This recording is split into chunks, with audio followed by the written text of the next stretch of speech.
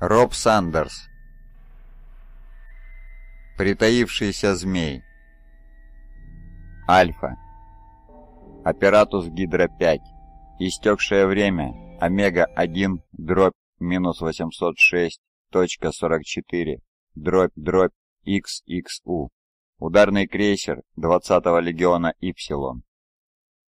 Все идет так, как пожелал примарх, мой повелитель. «И все-таки мне тревожно», — отозвался Амигон. Могучий воин прохаживался по темному ораториуму. Его внимательный взгляд скользил то по схемам на стенах, то по инфопланшетам на круглом столе в центре комнаты. Урсин Эхион стоял перед ним, но лишь как гололитический призрак. «Марак-950 имеет тактический приоритет, брат», Многое зависит от непрерывного слежения за технологией. Он сел на один из установленных в палате тронов, положил локти на подлокотники и в задумчивости сцепил пальцы. «Тебе понятны мои заботы?» «Конечно, лорд Амигон», — ответил прозрачный Эхион. Амигон хранил задумчивость. Эхион больше не носил накидку библиария. Вместо нее он избрал простое одеяние ротного легионера. Когда понадобилось проследовать за новой, касающейся империи технологий, один из старших псайкеров Легиона явился очевидной кандидатурой, даже если его статус библиария при этом оставался тайной. «Тебе понятны мои заботы», — повторил Амигон. «Но вот разделяешь ли ты их?» Он проследил, как проблески сомнения появились на гололитической копии лица библиария. Искушение солгать. Решение не делать этого. Пилонная матрица построена в точном соответствии с требованиями, подтвердил Эхион. Она работает удовлетворительно. «Говори, что у тебя на уме?» – велел Амигон. «Раз уж твой род занятий способствует этому. Имеется технология, древняя и чуждая нам, обстоятельно начал Эхион. Если бы проект конструкции вместе с приказом о реализации не поступили от самого Альфария, я бы подумал, что это попытка дезинформации. Твои бдительность и недоверчивость позволяют достойно служить Легиону, заверил Амигон. Мне, как и тебе, брат, противны ксеносы с их презренными методами. Но Гидра бьет многими головами, и мы, вопреки предубеждениям, должны потворствовать разнообразию. Хотя, конечно, можем испытывать природное отвращение. Ты это понимаешь, Эхион? Конечно, лорд Амигон. И как ты сам сказал, это желание примарха. Да. И все-таки будь осмотрителен. Есть какие-нибудь затруднения? Эхион снова соизмерил в душе честность с благоразумием, а потом благоразумие с честностью. Время от времени у нас возникают сложности с поставками рабов-псайкеров. Был случай, когда из-за этого возник конфликт с сестрами Безмолвия и их черными кораблями. Конечно, ничего такого, с чем не справились бы мои легионеры. Стало быть, именно это беспокоит тебя, брат, использование тебе подобных. Эхион взвесил свой ответ. Технология требует. У каждого из нас своя роль, эти, как вы их называете, мне подобные, должны ее исполнить, в то время как Легион исполняет свою. Воистину, согласился Амигон. Есть еще проблемы. Касаются кого-нибудь из наших союзников. Гена 760 Спартацит производит беспокойных стражей. На свои обязанности они выполняют отменно. А механику? Библярий сделал паузу. Эмпирмастер Авгурам тяжелый человек.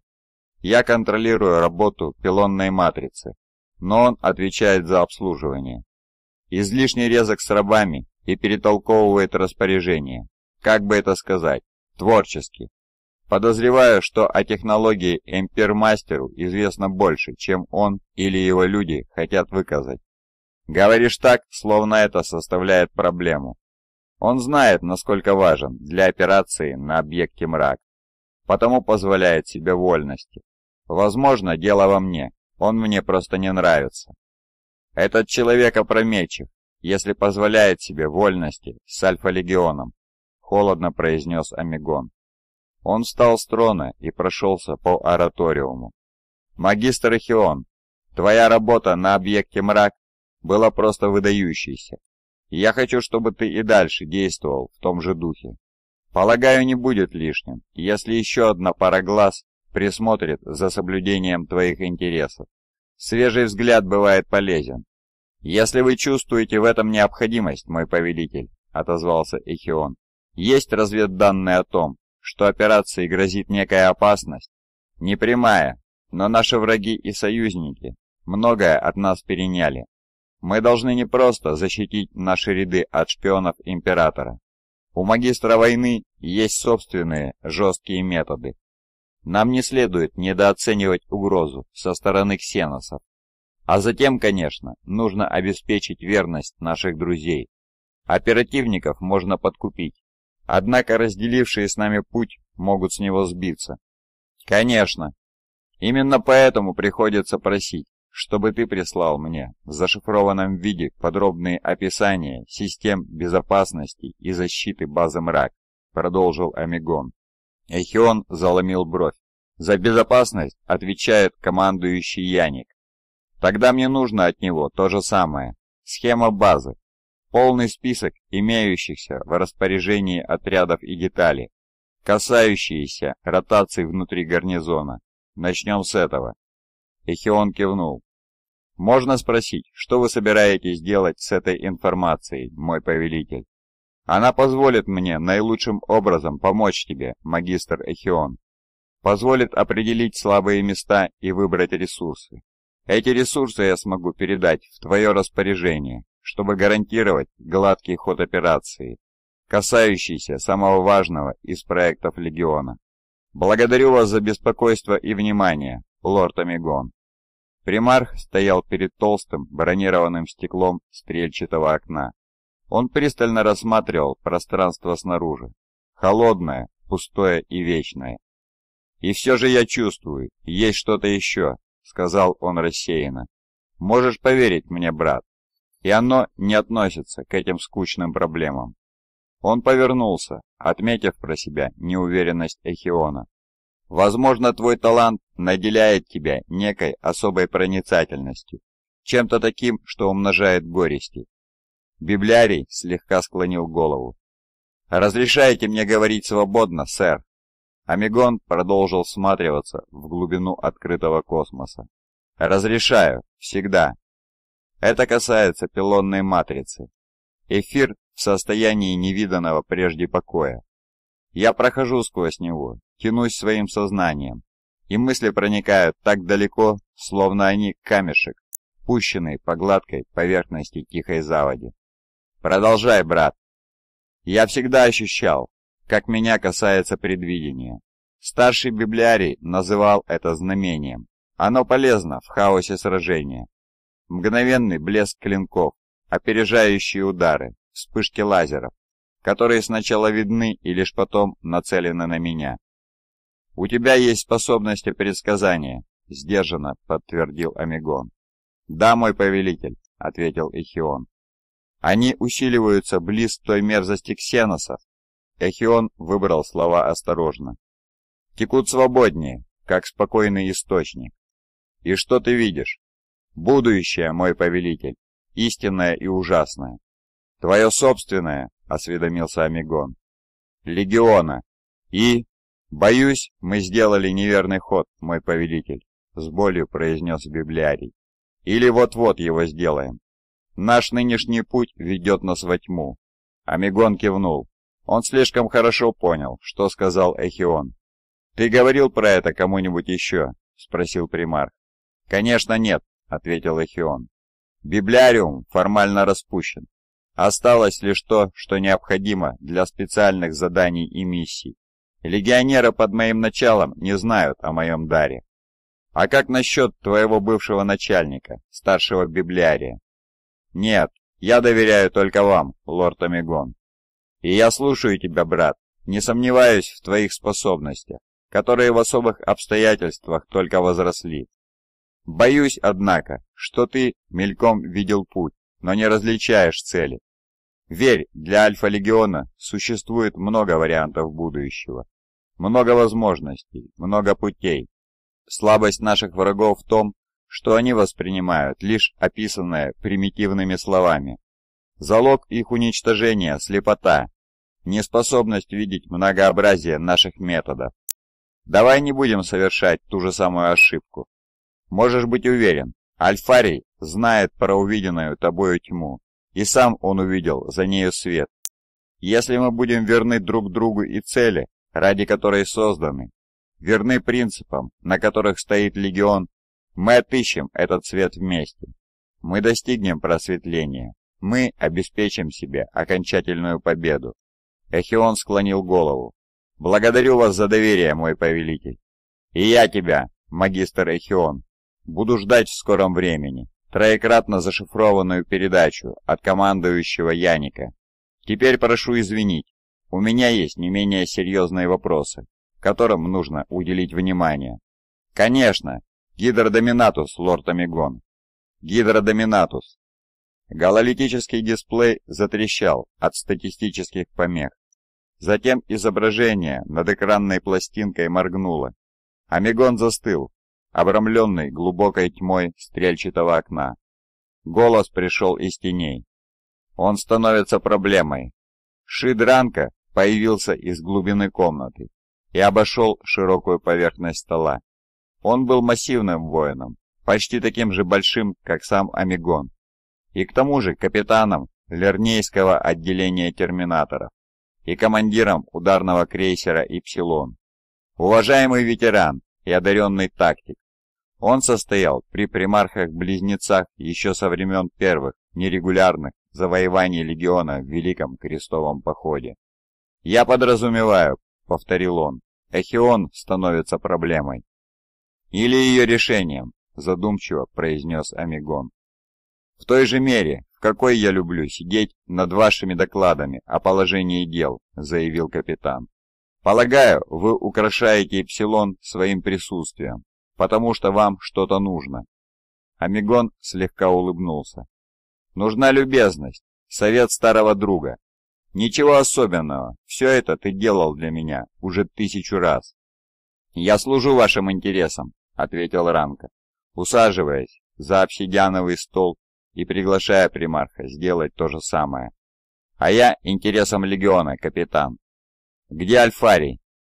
«Возвратился после встречи с магистром войны честно ответил Амигон. Он собирает флот. Я ожидаю, что в скором времени Ипсилон получит его приказы. Вы здесь от его имени? поинтересовался Ранка. Да, в его интересах.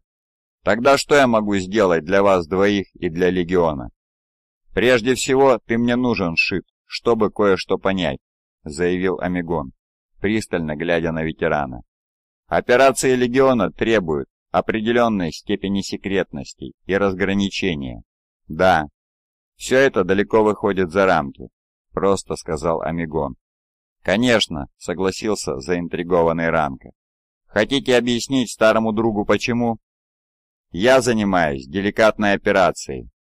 Все операции Альфа-легиона деликатны. Самая деликатная, глухо проговорил Амигон.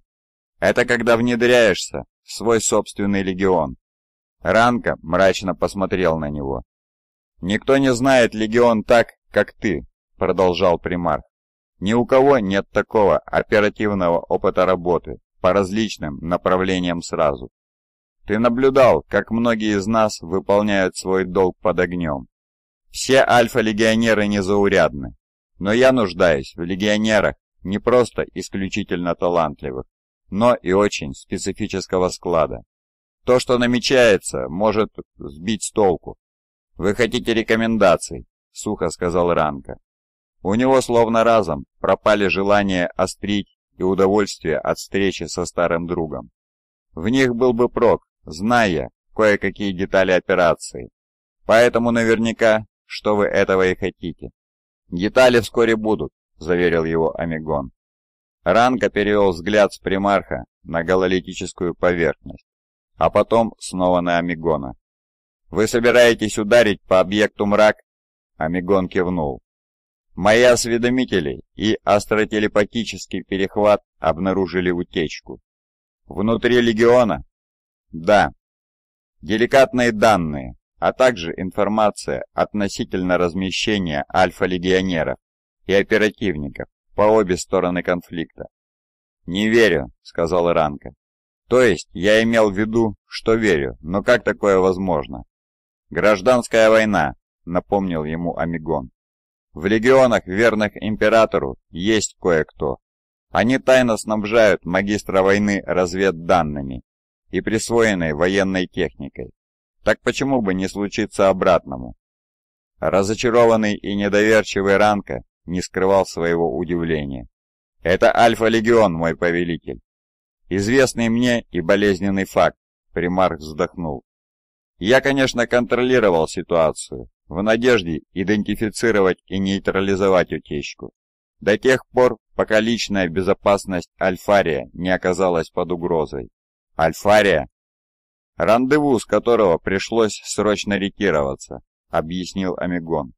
Кем бы они ни были, за кого бы ни стояли, за императора или за магистра войны, они могли схватить моего брата прямо тогда, в том самом месте. И вы проследили их до базы мрак. Частично расшифрованное астротелепатическое сообщение, отправленное оттуда, подтвердил Амигон. Время и дислокации. Они в точности знали, где и когда ударить. Тогда это Эхион. Возможно, система Октис – один из тех отдаленных регионов, которые не подвержены риску варп-штормов. Ты сам слышал, пилонная матрица успокаивает им материум. Астротелепатическое сообщение могло попасть на древнюю Терру оттуда. «Как Альфари все это воспринял?» – спросил Ранка. Плюется кипятком, как и следовало ожидать. У нас нет времени заниматься расследованием. Война идет быстро. Такая роскошь, как возможность выследить вражеского организатора, нам недоступна. Во всяком случае сейчас. Ведь даже о нашей попытке сделать это, вероятно, станет известно. Мрак потерял доверие. Его следует уничтожить вместе с утечкой и всем прочим. Пока знания о Матрице или даже о самом объекте не попали в руки другого легиона. Ранка опустил руку на стол. «Вам нужны легионеры, которые сумеют проникнуть на базу Альфа-легиона и не поставят под сомнение приказ, который потребует убивать братьев, зная, что многие из этих братьев невиновны. Да, капитан на миг замолчал, проникаясь чудовищностью задания. Раз так, вам нужен Гаран Секебас, из отделения «Сигма» третьей роты. Его команда отвечала за удар по матричному аванпосту на планете Облонский. Даже по меркам легиона Сикебас довольно холоден. Ради победы над другими сделает все, что нужно. Где он сейчас? Полагаю, отвлекает 915-й экспедиционный флот. «Спасибо, Шид», — сказал Омегон. «Вам также понадобится Псайкер», — продолжил капитан. Взять кого-нибудь из легиона нельзя. К их подготовке, по всей вероятности, приложил руку Урсин Эхион. Тогда оперативник. Ранка пожал плечами. Вопрос кто? Нужен кто-нибудь поистине особенный, чтобы выступить против Эхиона. Проблема в том, что от особенных больше опасности для всех остальных. Не всегда с огнем борются при помощи огня, пробормотал Амигон но затем вновь задумался. Никаких чтецов, никаких телепатов. Хватит нам проблемы с утечкой информации. Согласен. У тебя имеется предложение? Спросил примар. Возможно, отозвался Ранка. Мы расшифровали передачи с черных кораблей, о которых упоминал Эхион. Там неожиданно всплывает одно и то же имя. Штат сестер Безмолвия раз за разом не может поймать прирожденную ведьму по имени Ксалмагунди из мира Улья Друзила. Амигон кивнул. Звучит обнадеживающе. Еще какие-нибудь рекомендации? Эхион и командующий Яник собираются подкрутить гайки по части режима секретности на базе, продолжил капитан. Вам понадобится кто-нибудь внутри нее. Я уже наметил кандидатуру, заверил примар. Ранка кивнул. Значит, действительно дошло до этого. В нашем собственном легионе. Мы не можем церемониться с предателями, которые завелись в наших рядах», — сказал Амигон. «С предателями, где бы они ни обнаружились, следует поступать решительно. Нужно принести эту жертву». Амигон пересек ораториум и взял пару чаш с подноса. Одну он предложил Ранка. «Спасибо за помощь в этом деле, старый друг. Мало к кому можно обратиться с чем-то подобным». «Всегда к вашим услугам», — сказал капитан, поднимая чашу, чтобы выпить тост. «За успех миссии и за неизбежные жертвы». Двое выпили. Ранка, оторвавшись от чаши, задумался. Он понял, что изучает то, что на дне. «Знаешь, каково это?» — спросил Амигон. «Да, мой повелитель», — через миг ответил капитан. «Тогда ты понимаешь, чего я от тебя хочу». Ранка залпом выпил остаток. «Того же, чего и от других», — отозвался капитан. «Всего». Бета. Оператус Гидро-5. Истекшее время. Омега-3, дробь минус 734, точка 29. Дробь, дробь, СХ-0. Фемус-4. Тарсийские высоты. Подкорковая активность Фемуса-4 длилась уже многие тысячелетия, и планета понемногу выворачивалась наизнанку. Это был сумрачный шар из магматической породы, окутанный штормами из пепла и сажи, покрытый словно фурункулами, извергающимися вулканами. Изрезанный расселенными, он напоминал потрескавшуюся стеклянную безделушку, которая вот-вот развалится на осколки. Единственными существами, способными обитать в кошмаре Фемуса, оказались зеленокожие, племена которых, спасаясь от сезонных извержений, кочевали по перепаханному потоками лавы ландшафту.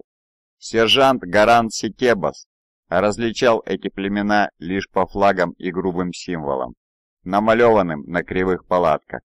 Отделение Сигма дало племенам имена, основываясь на их неразборчивой иконографии. Накипь, зеленые дьяволы, лихачи, магмовые клыки, клан огненного шара. Весь прошлый месяц альфа-легионеры вели с ними войну чужими руками. Космодесантники не убили ни одного зеленокожего и вообще не выпустили ни единого болта. Среди вулканических гор, в каньонах, словно вырезанных острой бритвой, и на мрачных базальтовых равнинах скрывалась куда более опасная добыча. Пятый легион, стремительные дикари хана, печально знаменитые белые шрамы. Черный камень раскрошился в руке Секебаса, если бы керамитовые перчатки не защищали ладонь, ее насквозь пронзил бы, похожий на стекло осколок. Сержант вцепился в скалу и, пробивая в ней выемки руками и носками ботинок, стал подниматься по черному, как ночь, утесу. За ним снизу вверх карабкались еще девять воинов отделения Сигма. Они использовали те же самые импровизированные точки опоры, Рядом неспешно тек язык вязкой лавы. Этот медленный поток без передышки, словно огненная печь, обдавал жаром закованных в броню легионеров. Очутившись наверху, Сикебас снял болтер с креплений и зашагал по хрустящему гравию вулканического кратера. Окоем был изъеден потоками магмы, и Сикебас тщательно выбирал, куда поставить ногу на этой пузырящейся поверхности. Один за другим альфа-легионеры перебрались на противоположную сторону кратера. Перепачканные сажей пластины доспехов сверкали в сполохах огня. «Выглядит неплохо, Исидор», — сказал сержант. Легионер Исидор сверился с потертым инфопланшетом, крутя его и поворачиваясь всем своим бронированным телом так, чтобы соотнести новую топографическую карту с окружающим рельефом. Он протянул руку в перчатке, указывая на восток. Если огненные шары еще не перекочевали, это должно подпалить их безупречные задницы, заявил он, вручая планшет Вермесу, который перепроверил картографию. Вон то русло должно соединиться с одним из утренних потоков, пробормотал Сикебас. Подтверждаю. Отделение слишком хорошо помнило русло, которое несколькими часами ранее пришлось пересечь с некоторыми трудностями. Бракс едва не провалился в адскую, наполненную расплавленной породой бездну.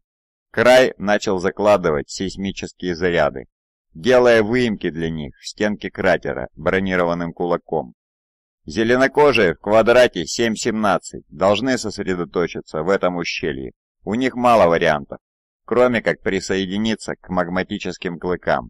Если они не атакуют их, как это сделала последняя группа, пробормотал Бракс. У орков такое бывает, согласился Сикебас. Крайт, мы точно готовы? Еще два заряда, 10 секунд. «Братья, идем через гребень», — приказал Сикебас.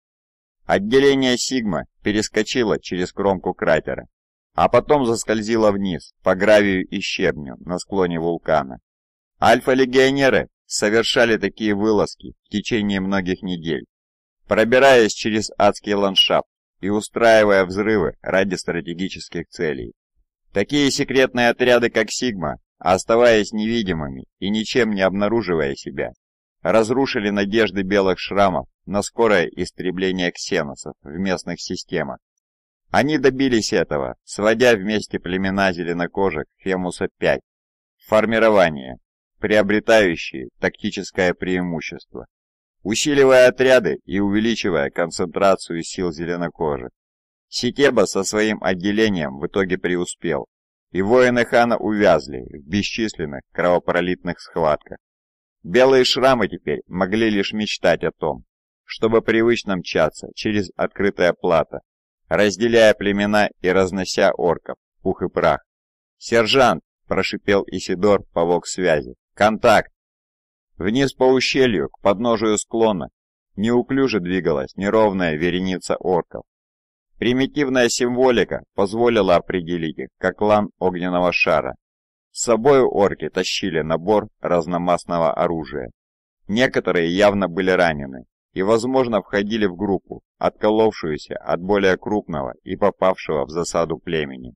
«Спрятаться!» — приказал Сетебас по вок-связи. «И в бой не вступать! Повторяю, в бой не вступать!» Пока легионеры протискивались в несколько более тесное, чем хотелось бы, укрытие на каменистом склоне, Орки продолжали неуклюже топать по ущелью. Скалы, валуны и толстый слой пепла на броне в какой-то степени замаскировали космодесантников от ксеносов. Ситебас, который ближе других находился к дну ущелья, хранил абсолютное молчание. Он наблюдал за монстрами, которые, не замечая его, брели мимо. Внезапно сквозь непрекращающееся громыхание дальних извержений прорвался пронзительный вой двигателей.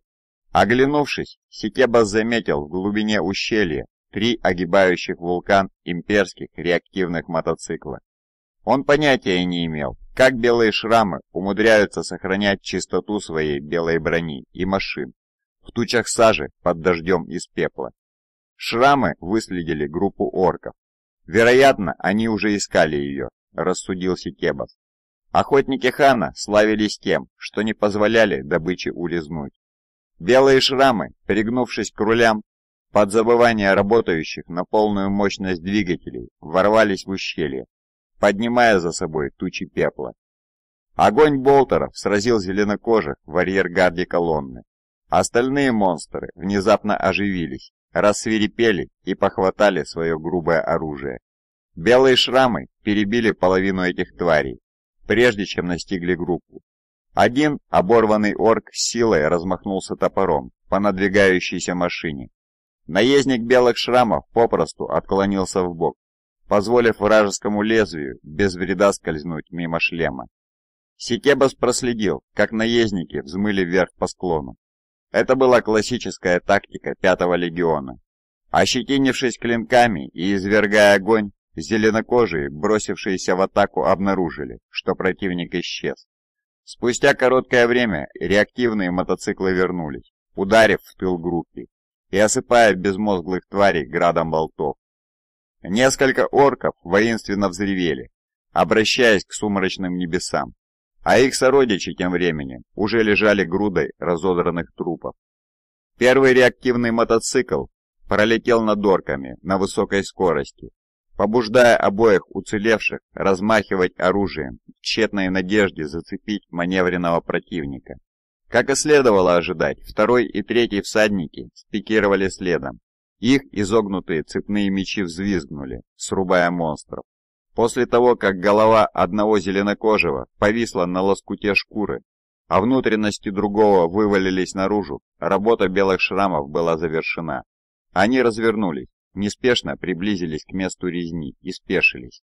Стащив с голов шлемы, воины хана позволили своим роскошным длинным волосам и усам не спадать свободно, а потом обнажили короткие изогнутые клинки и пронзили всех лежащих орков, убеждаясь, что монстры действительно мертвы.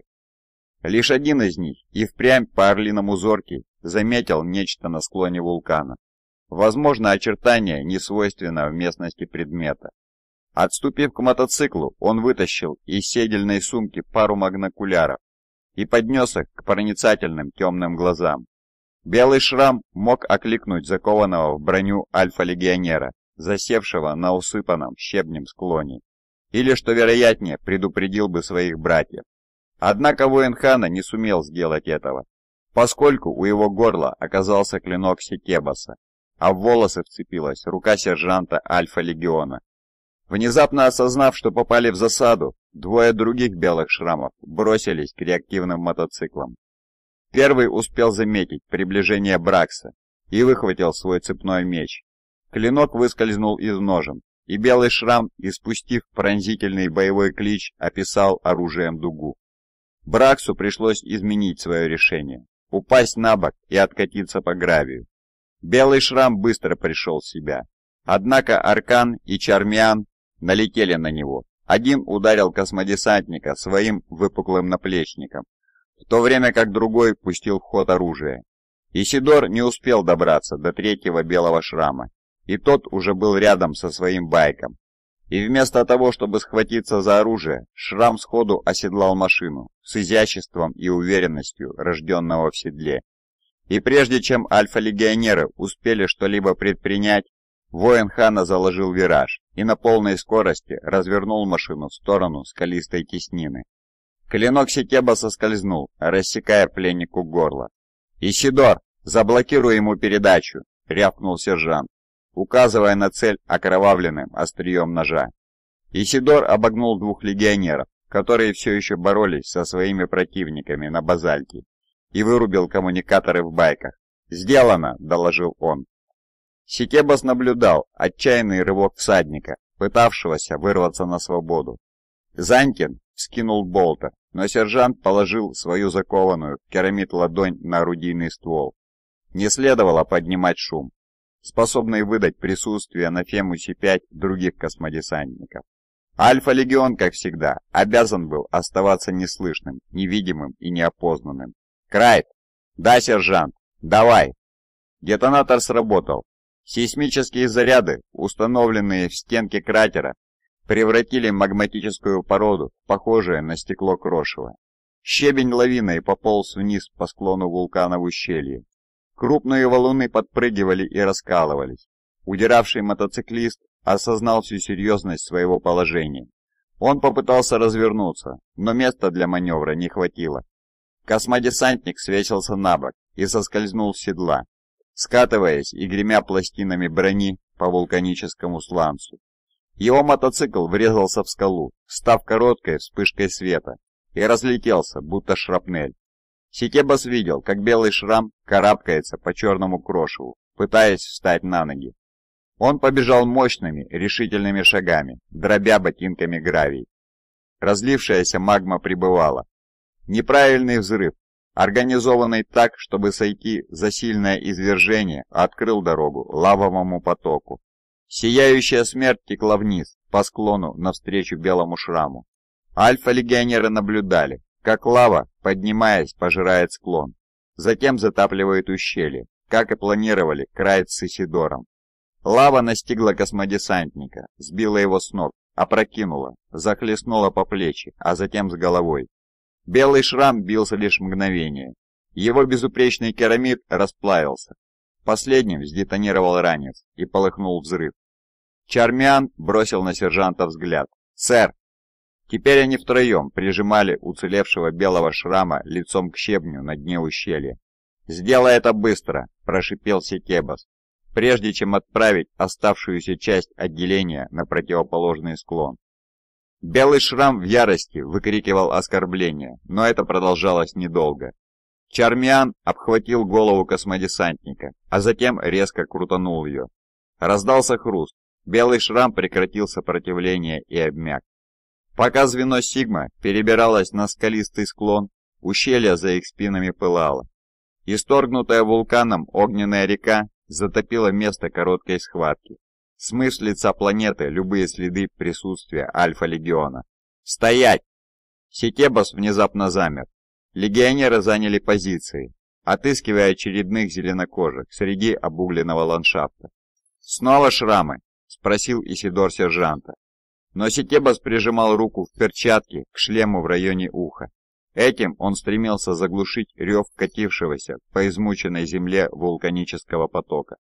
Через мгновение сержант обернулся. «Нас снова вызывают. Что-то особое. Я получил координаты высадки». Исидор одобрительно кивнул, но прочие лишь уставились на сержанта, ничего не выражающий оптикой шлемов. Давайте двигаться. Если повезет, через час мы уберемся с этой скалы. Аппаратус Гидро-5. Истекшее время. Омега-3, дробь, минус G33, точка 19, дробь, дробь, ДРУ. Мир Улей Друзилла. Улей Харон. Мать назвала ее Ксалмагунди. Люди низшей касты прозвали погибелью за приносимые ею несчастья. Иномирная сучка именовала духовным топливом и ведьмовским отродьем. Сверхъестественный дар Ксалмагунди убил их всех. Смерть привела ее наверх. Ксалмагунди покинула Нижний Улей. В юности девушка имела лишь смутное представление, как управлять аномальными способностями. Тогда предметы двигались вокруг нее, словно сами собой.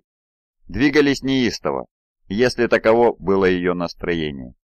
То, что начиналось как выходка, должное удивить уличных мальчишек ее касты, вскоре стало вызывать у обитателей Нижнего Улья неприкрытый ужас.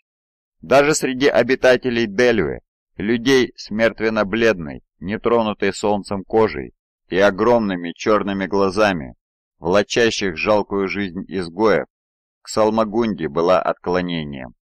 Когда ее подростковые истерики заставили дрогнуть Нижний мир, даже собственные пещерные родичи отвергли девушку.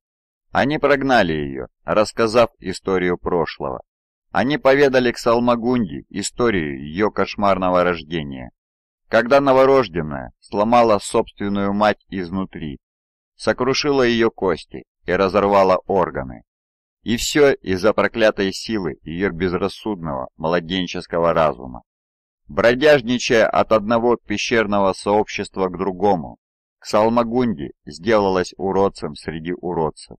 Все чаще подступали слезы одиночества, но вместе с ними гнев и ненависть. Отсталый мир вокруг нее стал корчиться в судорогах. И тогда показалось, что дрогнула сама тьма. Сотрясение прошло, по хрупким конструкциям улья, и верхний мир рухнул на нижний. Той ночью Дельви, обиталище низшей касты незапамятных времен, стал еще одним слоем праха в долгой истории улья. На Ксалмагунде шла охота, а она тем временем перебралась в шпиль. Сотрясения ощущались в городе повсюду. Нашлись те, кого заинтересовало их неестественное происхождение. Ксалмагунди училась контролировать чувства и обусловленный ими телекинетический кошмар. Ее внешность, которую многие обитатели Улья находили отталкивающей и тревожной, привлекла внимание властей. Когда задержать Ксалмагунди не удалось, и многие засвидетельствовали разрушительную силу ее дара, явились иномирники. Это были иномирники, наделенные иными дарами. Сестринство безмолвия, в присутствии которых сила Ксалмагунди превращалась в ничто. Под их пристальными взглядами жизнь превращалась в муку. По слухам, сестер послал сам император. Их прекрасная броня и оружие подтверждали это. Ксалмагунни не могла понять, чего от нее хочет император человечества. Непонятно, какая веская причина заставила ее отправить к ней этих вооруженных до зубов молчальниц. Убийства продолжались. Все новые отряды сестер охотились за Ксалмагунди и в жилых кварталах, и среди индустриальных ландшафтов, но захватить добычу не смогли.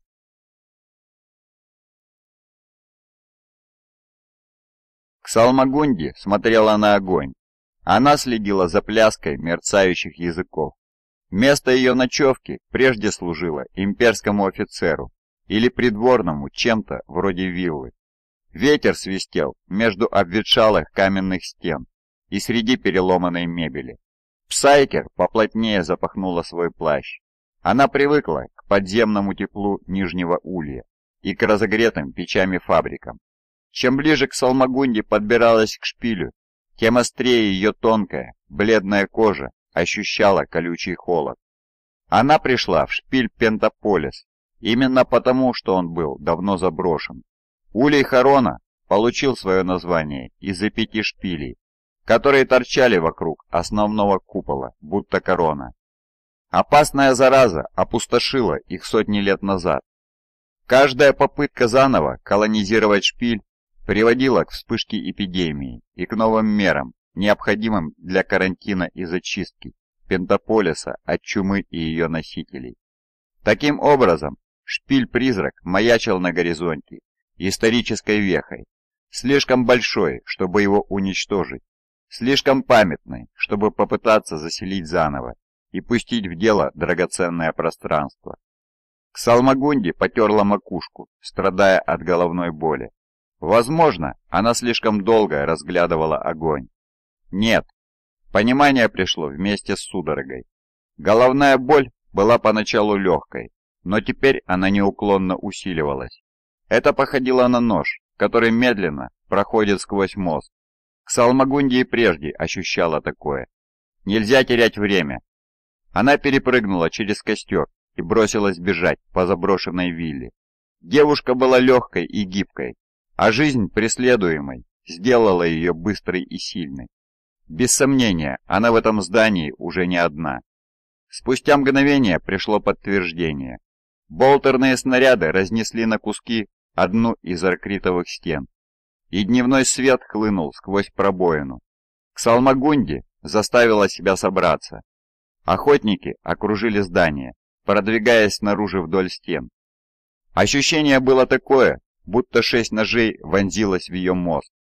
Боль была мучительной. Охваченная парализующей мукой, Ксалмагунди не могла отыскать ту часть своего существа, на которую полагалось в таких обстоятельствах. Ту долю разума, в которой страх и безысходность легко превращались в разрушительную телекинетическую силу. Она могла думать лишь о том, как сделать очередной шаг. Следовало уйти. Не просто скрыться от болтерного огня, но освободиться от влияния сестер. Стены взорвались сразу с двух сторон. Прошитая перекрестным огнем вилла сделалась гиблым местом. На бегу к Салмагунди ощущала, как шальной снаряд задел, разрывая край ее плаща. Когда рассыпавшаяся каменная кладка обрушилась на пол, охотники оказались на виду. Золотистые фигуры в шлемах с белыми и алыми плюмажами. Преследователи вели непрекращающийся огонь и гнали добычу через виллу. Вырвавшись из полумрака внутренних помещений на высокую террасу, Ксалмагунди ослепла из-за обрушившегося на нее дневного света. Ее большие черные глаза, как и у всех подземников, были крайне чувствительны даже к скудному свету друзиллы. Девушка остановилась, положив тонкую руку на прикрытое капюшоном лицо. Забрежила мысль, что все, похоже, идет по плану сестер. Ксалмагунди была проворной и быстрой, но ей не дано обогнать болт на открытом месте. В центре сражения, когда вокруг валилась каменная кладка и снаряды пронизывали воздух, инстинкт подталкивал ее к бегству. Теперь же на террасе болтерный огонь прекратился. Ксалмагунья не могла избавиться от ощущения, что ее загнали в стойло. Подобно тому, как жители Нижнего Улья гнали по туннелям верминипедов, заставляя их идти в расставленные сети. Небо над нею ревело. Всматриваться в залитые сиянием небеса было трудно. Но над крышей виллы кружили то ли транспортные самолеты, то ли какие-то челноки. Как только зрение немного приспособилось к дневному свету, к Салмагунди из-под приставленной колбу ладони разглядела, как подлетает очередной вооруженный транспортник. Сестра Безмолвия сидела в проеме открытой боковой двери челнока. На голове у нее был шлем с целеуказателем, а в цепких руках длинный ствол диковинной винтовки. Псайкер в ярости скривила рот. Сестры Безмолвия могли при желании убить ее, но предпочитали усыпить, будто опасное животное, и отправить своему драгоценному императору. К Салмагунде не попадет в мешок и не отправится на стену, словно трофей в гостиной, рожденных в шпиле. Она снова бросилась бежать. Босые ноги попадали в трещины, изъеденного непогодой камня террасы. Чувствовалось, что позади другие сестры, обремененные броней и алчущие успеха там, где их предшественницы потерпели неудачу. Транспортный челнок завершил разворот и устремился к цели. К Салмагунде видела силуэт снайперши, свесившийся из челнока. Убегая, она внезапно вильнула вправо. Там, где она только что находилась, всплеснулись вверх фонтанчики из осколков камня. Снайпер не смогла продолжить огонь. Она оказалась с другой стороны машины. К Салмагунде побежала через полосу препятствий, образовавшейся в обстреливаемом полуразрушенном здании. Она преодолела декоративную подпорную стенку, прежде чем нырнуть в зазор, возникший на месте балюстрады. Рассыпавшаяся постройка давала прикрытие, но что более важно, она замедляла продвижение закованных в броню сестер безмолвия. Им с их тяжелым боевым снаряжением было труднее карабкаться через препятствия. Перекатившись, Псайкер вскочила на ноги и бросилась к краю террасы. Транспорт накренился, встав вровень с высокой платформой, и Ксалмагунди ощутила, как в нее целится снайпер. Она чувствовала кое-что еще. Освобождение от ножей, которые постепенно один за другим выходили из пылающего мозга. Она оторвалась от сестер и не хотела рисковать, оглядываясь назад. Сейчас важен каждый миг, каждый шаг. Последний шаг более других. К Салмагунде бросилась к краю высокой террасы в небытие. Капюшон свалился с головы. Плащ затрепыхался вокруг тела. Судя по ощущениям, поспешно выпущенная пуля снайперши пролетела возле уха. К Салмагунде начала размахивать руками. Ноги колотили в воздухе. Тонкое тело девушки неслось вниз, мимо беспорядочных архитектурных нагромождений шпиля Пентаполиса.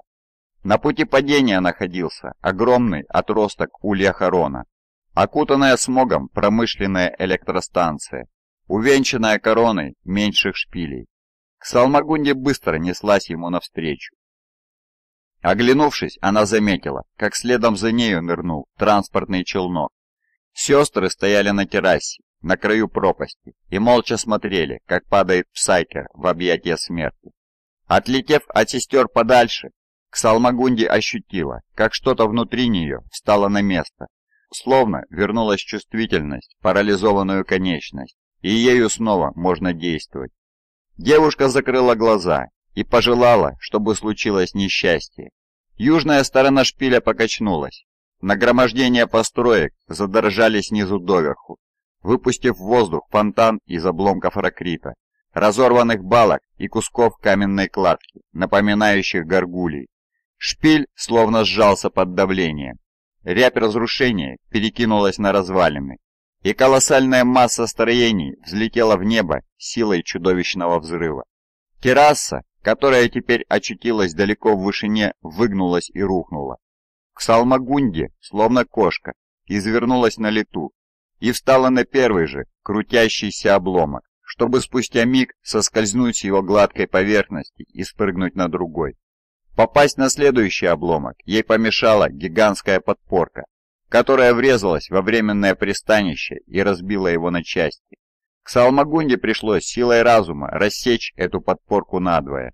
Совершая прыжок к искореженной падающей колонне, Псайкер позволила себе на миг сосредоточиться на отступающем транспорте и сестрах, чьи тела, кувыркаясь, падали вместе с обломками зданий. В течение нескольких мгновений к Салмагунде летела рядом с крупным обломком, а потом вцепилась в украшенный завитками кусок стены. Ей повезло, ее дар обеспечил ей необычную телекинетическую силу, но он не наделил ее экстраординарными рефлексами. Стоило отвлечься хоть на мгновение, и любой из летящих кусков камня или металла мог переломить ей хребет или пробить хрупкий череп. Внизу к Салмагунди видела вызванные ею опустошения. Подножие шпиля призрака оказалось похороненным под руинами рухнувшего южного фасада. Навстречу вздымалось облако пыли. Пролетев сквозь эту завесу, Псайка мысленно сосредоточилась, стараясь замедлить безудержное падение массивного обломка. Лицо ее скривилось, превратившись в уродливую гримасу, когда она велела глыбе спускаться поаккуратнее. Другие колоссальные каменные блоки с грохотом проносились мимо, чтобы разбиться в дребезги о гору щебня у подножия шпиля. Голова Псайкера вновь заболела, на этот раз от напряжения. Несмотря на все усилия к Салмагунди, Гигантский фрагмент ударился о поверхность с невообразимой силой, катапультировав девушку, намаячившую среди бездействующих домовых труб площадку из ракрита. Невероятно, но она приземлилась на ступни, хотя правую ногу пронзила жгучая, как раскаленное железо боль. К Салмагунде упала, скатилась с платформы. Мир превратился в тошнотворный калейдоскоп. Кроме того, все звуки заглушил грохот падающих камней. Мир постепенно перестал крутиться. Проржавевший металлический настил резко оборвал ее движение. К Салмагунде сильно ушиблась головой, и одна рука безжизненно повисла. Все, чего сейчас хотелось девушке, лечь и умереть. Оглянувшись, она увидела, как огромный кусок искореженного ракрита пробил металлический настил, словно лист бумаги. За ним хвостом тянулись спутанные кабели. Салмагунди вскочила, но тут же снова свалилась со страдальческим воплем. Нога оказалась раздроблена, кость торчала из раны. Девушка изо всех сил старалась сосредоточиться лишь на ноге, игнорируя другие повреждения. Стиснув зубы, она вправила кости, создав вокруг раздробленной конечности телекинетический лубок. Острые осколки втянулись в порванные мышцы, дав возможность, по крайней мере, держаться на ногах. Хромая и спотыкаясь, она пробивалась сквозь густую, удушливую пыль. Когда до земли долетела последняя часть южного фасада шпиля, скоро к Салмагунде добралась до темного прохода в мануфакториум, хотя видеть могла не далее, чем на метр перед собой. Псайкер закашлялась. От пыли и каменной крошки воздух сделался густым, и к Салмагунде несколько раз приходилось останавливаться, чтобы отхаркнуть вязкую, смешанную с песком слюну. По лицу текла кровь. Тишину, наступившую после катастрофы, внезапно нарушил ритмичный грохот роторных пушек. Темнота ожила. Что-то невидимое прошло над головой. Пушки били по улице, корежа ракрит и выдалбливая в нем две параллельные рытвины. Салмагонди упала в набитую мусором впадину, оставляя орудийный огонь месить дорогу, ведущую к домовой трубе. Уцелевшие сестры явно не собирались брать ее живьем. Псайкер окинула взглядом клубы пыли, отыскивая челнок. Если его удастся найти, можно использовать силу и швырнуть эту крылатую гадость прямо в изуродованный фасад шпиля Харона. Однако небо было укрыто темной пеленой, и к Салмагунде ничего не увидела. Когда пушки умолкли, она подумала, что лучше сменить позицию, и захромала вдоль перепаханной улицы. Однако замерла, заметив перекрывающие дорогу темные силуэты. Салмагунья напряглась, готовя обрушить на эти темные фигуры соседний мануфакториум.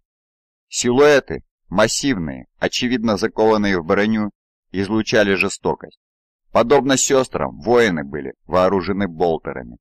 Они устремили на Псайкера бесстрастные линзы шлемов. Один гигант, безоружный, как ни странно, выступил вперед. Салмагунди, собственное имя, произнесенное этим гигантом, ошеломило девушку. Пыль стала оседать, и Ксалмагунди осознала, что перед нею отряд ангелов Императора. Как и все прочие обитатели Друзилы, она видела лишь их изображение в камне, но броня и оружие не позволяли ошибиться. Предводитель остановился, его керамид заскрипел. Ксалмагунди понимала, что он уже ощутил ее воздействие. Телекинетические объятия, в которых она удерживала его бронированную фигуру. Пусть император посылает, кого хочет, они ее не возьмут. Она могла бы сокрушить легендарных воинов в их боевой броне так, как невидимый кулак давит пустые жестянки. «Откуда ты обо мне знаешь?» — резко бросила она. «Салмагунди, мое имя Шидранка!» Снова раздался голос. Он был низким и прозвучал сдержанно. «Уверяю, мы не собираемся причинять тебе вред».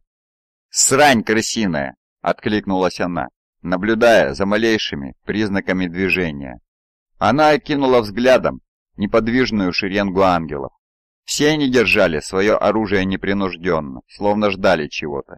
Ни один ствол не был нацелен на Псайкера. Салмагунди прищурила слезящиеся от песка глаза.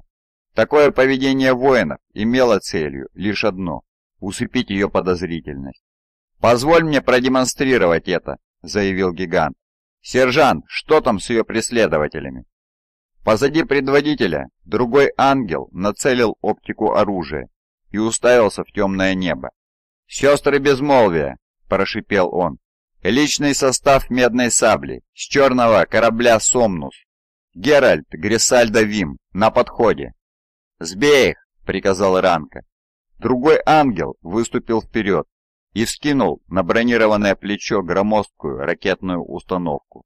Он направил оружие в небо и посмотрел в целеуказатель. «Есть захват?» – спросил Ранка. «Можешь стрелять?» «Могу». «Тогда сделай это, брат!» Ксалмагунди вздрогнула, когда ракета, сверкнув, ушла в небо и исчезла, после чего взрыв разорвал сумрак. Через короткое время транспортный корабль рухнул с неба, оставляя за собой хвост черного дыма и обломки. Пилот отчаянно пытался восстановить хоть какое-то управление, но судно не подчинилось и скосило высокие металлические трубы, перед тем, как пролететь над головами ангелов и Ксалмагунди и врезаться в фасад мануфакторума.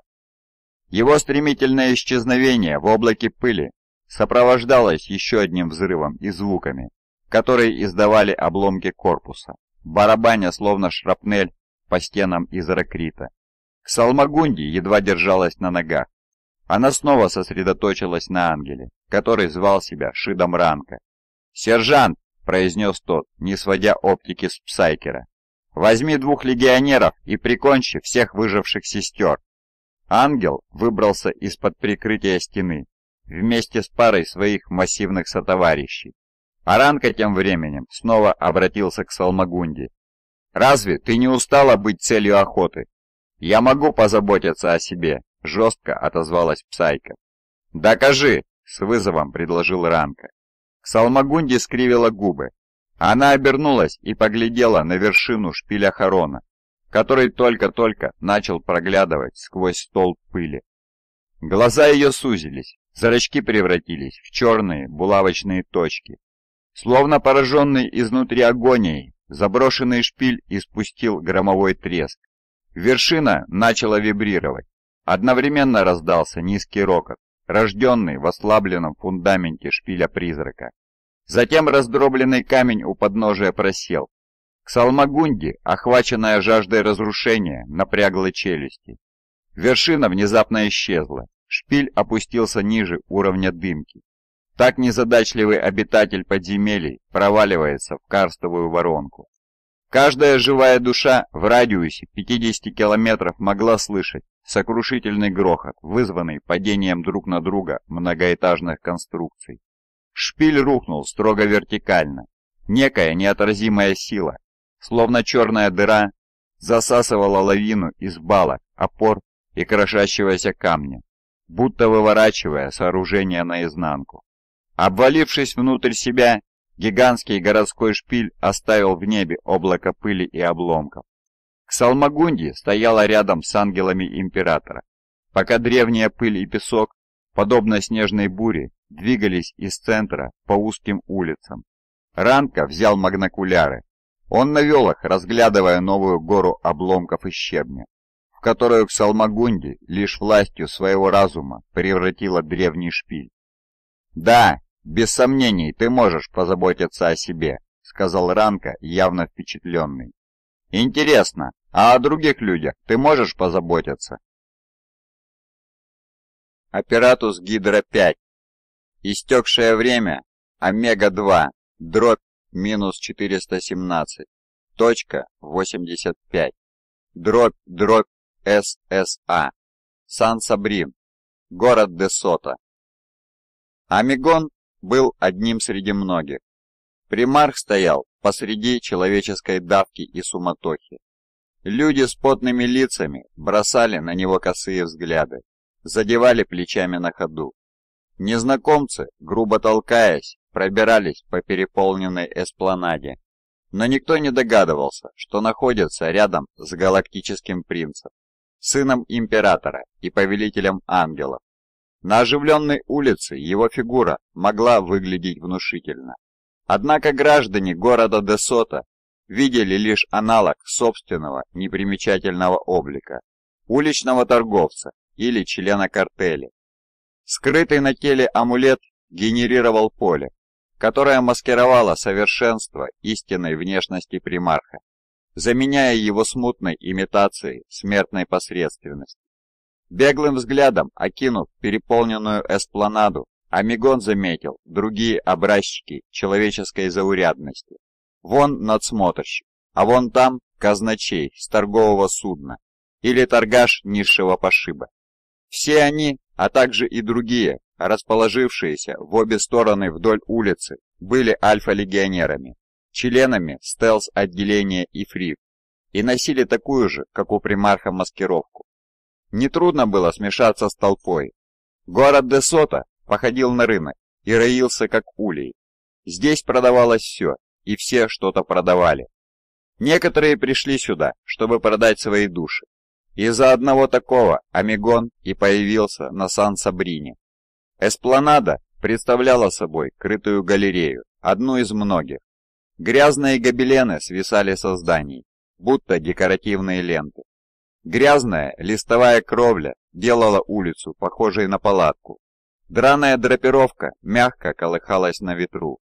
Здесь размещались обшарпанные офисы разнообразных иномирных посредников, включая занятые незаконными делишками или бизнесом без лицензии, что не мешало ораве уличных торговцев загромождать оживленную улицу своими товарами и непрерывно зазывать покупателей. Последние несколько минут Амигон занимался тем, что имитировал интерес к одному такому паразиту. Чтобы не породить никаких подозрений у тараторящего продавца, он предложил ему немного местной валюты хотя понятия не имел, что этот лоточник продает. Человек был весь увешан маленькими клетками, имел при себе палку и что-то вроде барабана. Примарх заметил цель, глянув поверх подвижных плеч торговца, между его руками, которыми тот в возбуждении размахивал, суя под нос Амигону крошечные клетки. Объект был одет в свободное темно-красное облачение марсианского жреца а на широких плечах нес работающий блок кагитатора. Светящийся капюшон скрывал пухлое лицо, утыканное иглами и грязными проводами. Рот был давно зашит, но вокс-устройство висело на шее, которой почти не было видно. Из этого устройства мастер то и дело вытаскивал микровокс и подносил его к своим многочисленным подбородкам. Это был печально известный Валькерн Авгурам, эмпирмастер и секретный агент Альфа-Легиона. Амигон держал мастера в поле зрения, отслеживая, как тот идет по эспланаде. Немногие торговцы решались беспокоить Авгурама, окруженного когтистыми боевыми сервиторами. Схватив продавца клеток за лицо и столкнув его с дороги, примарх нырнул в толпу. Он видел, как двое его легионеров идут сквозь толпу с противоположной стороны. Авгурам остановился возле офиса иномирского посредника.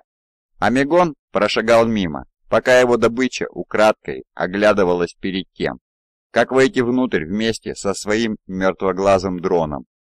Двигаясь по кругу и занимая на эспланаде позиции поближе, альфа-легионеры дожидались его возвращения. Когда мастер, в конце концов, появился, он явно спешил, а кибернетические головорезы раздвигали толпу, расчищая ему дорогу. «Ифрит-7, посредник!» — спокойно проговорил Амигон в бусину Вокса, предоставив одному из подчиненных выяснить, какого рода отношения были у мастера с иномирцем. Амигон с остальными двинулся вдоль низкой галереи, вслед за Авгурамом. Похоже, он направляется в космопорт. Раздался голос Ифрита-2, Скоро придется его брать. Дальше идут сплошные галереи, очень многолюдно. «Ифрит-7», — произнес Амигон низким голосом. «Что удалось узнать?» Груз в 20 тысяч декатон камня из карьера в мертвом мире в системе Бета-Гастри.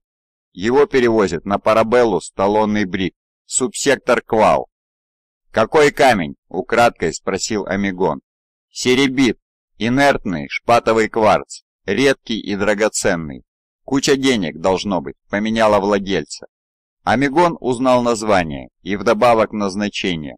«Нужно брать», — передал он по открытому каналу. Авгурам продолжал решительно шествовать вперед. Когтистые сервиторы держались рядом все в той же манере, вчетвером по кругу. Легионеры Амигона принялись чаще прохаживаться туда-сюда, а примарх сознательно держался как не очень ловкий хвост. Через некоторое время мастер начал замечать в толпе одни и те же лица. Ее взгляд заметался в попытках выяснить, нет ли в толпе чего подозрительного. Авгурам, ко всему прочему, был еще и агентом Альфа-Легиона, то есть понимал тактику и принципы слежки. Не понимал он только одного, почему Альфа-Легион обнаружил свое присутствие Пока мастер поспешно перебирался на другую сторону галереи, Амигон приступил ко второй фазе операции. Альфа-легионеры в камуфляже, созданном генерирующим полем, начали подбираться к цели.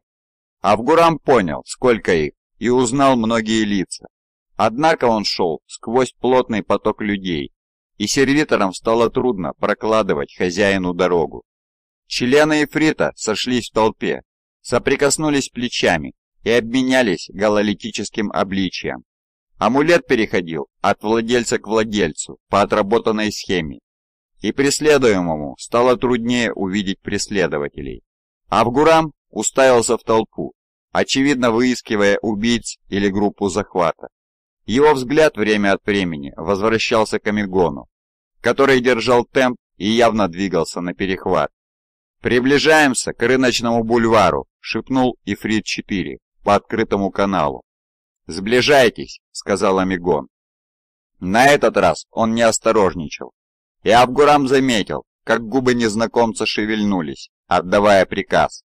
Мастер в панике двинулся вместе со своими сервиторами-охранниками в сторону галереи. Амигон наблюдал, как Абгурам подбирается к рыночному бульвару, ведущему главной эспланаде, и ощущал, как желание добычи пуститься в бегство перерастает в непреодолимую паранойю. Четыре члена Ифрита совершенно открыто приближались с разных сторон. Однако на лице мастера появилось хорошо заметное Амигону удивление, когда один за другим преследователи исчезли. Каждый необъяснимым образом растворился в толпе. Авгурам крутанулся на месте и его удивление сменилось ужасом. Он обнаружил, что остался один. Слуг защитников больше не было рядом. Их место заняли четверо незнакомцев, которые молча глядели на него. Авгурам искал хоть какую-нибудь возможность спасения. Однако в толпе становилось все больше уже знакомых лиц, и последним он увидел Амигона, который поспешно приближался. Это оказалось слишком для несчастного человека, «Отстаньте от меня!» – выпалил он прежде, чем бросился в узкую галерею, забитую прилавками и киосками. Амигон видел, как мастер проскочил сквозь рваный полок, мимо кучки изумленных зевак. Сервиторы замерли, повинуясь последнему приказу господина. Амигон лишь позаботился, чтобы шедшие последними легионеры, прежде чем скрыться в толпе, прицепили свои генераторы поля к охранникам. Авгурам думал, что сервиторы оставили его, будучи заменены группой захвата, в то время как он сам нечаянно отпустил их и заблокировал мысленным приказом. Сорвав полок, Амигон обнаружил двоих замаскированных членов Ифрита, которые задержали мастера в крытой галерее. Оба стояли по бокам от грузного человека, прижав короткие клинки к мясистым складкам на его шее. Еще один держал возле горла Авгурама микровокс. Амигон приблизился с грацией хищника. Авгурам мгновенно признал в нем того, кто тенью следовал за ним через пеструю толпу. «Ты делаешь большую ошибку», — завопил он, обращаясь к Амигону. «У меня есть влияние, я знаю страшных и могущественных людей. Ты даже представить себе не можешь». Амигон снял с пояса генератор и уменьшил гололитические частоты. Изображение безвестного обитателя Десота замерцало, поплыло и в конце концов растаяло, открыв реальную картину. Вооруженного альфа-легионера с эмблемой ордена на груди. Еще двое воинов сделали то же самое. Авгурам широко раскрытыми глазами уставился на своих покровителей. События повернулись так, что он попросту потерял дар речи. «Очень даже могу представить, эмпирмастер», — произнес Амигон. «Я тоже знаю страшных и могущественных, а они хотят знать, почему тайнами, которые они тебе доверили, ты торгуешь по всему Империуму. Авгурам понял, что не может отдышаться. Разоблаченный Амигоном, он испытал потрясение и все же силился ответить, хотя два клинка лежали на его горле, словно ножницы. «Я ничего не продавал», — кое-как справился Авгурам. «Знаю, эмпирмастер», — ответил Амигон. «Ты не продаешь, ты главным образом покупаешь. А еще ты строишь, прилагая к этому все усилия. И ты строишь не для нас, ты делаешь это для себя. Вас послал магистр Эхион? У магистра Эхиона были подозрения, однако нет, не он. Чего вы хотите? Задыхаясь, спросил Авгурам. Хочу, чтобы ты придержал свои таланты и использовал их только так, как желают твои покровители. Но технология, она замечательна. Потенциально она превосходит устройство на Пердитусе. «Знаю», — отозвался Амигон. Именно я снабдил тебя спецификациями и оригинальными материалами. Она явно имеет ксенопроисхождение. Древнее. Где вы? Где я беру свою информацию, это мое дело. Если ты продолжишь испытывать мое терпение и задашь еще один опрометчивый вопрос, я снесу твою голову с плеч, а жирное тело брошу в переулки. Авгурам ограничился боязливым поклоном. «Ты одарен даже по меркам твоего племени», — признал примар. «Именно поэтому мы пришли к тебе. Именно поэтому мы оказали тебе доверие. Не заблуждайся, воображая, будто ты был единственным вариантом. Имеются и другие, они могут сделать то, что нужно». Бледный от ужаса, Авгурам снова поклонился. «Эмпермастер», — продолжил Амигон, — «почему ты строишь точную копию мрака, на сельскохозяйственной планете Парабеллус. «Технология», – осторожно ответил Авгурам. «Пусть даже технология чужаков. Она может изменить Империум. Она могла бы обезопасить астротелепатическую сеть и метеорологию наших торговых маршрутов. Открой глаза, галактика не нуждается в революции», – ответил ему Амигон. «Она и так достаточно от нее страдает.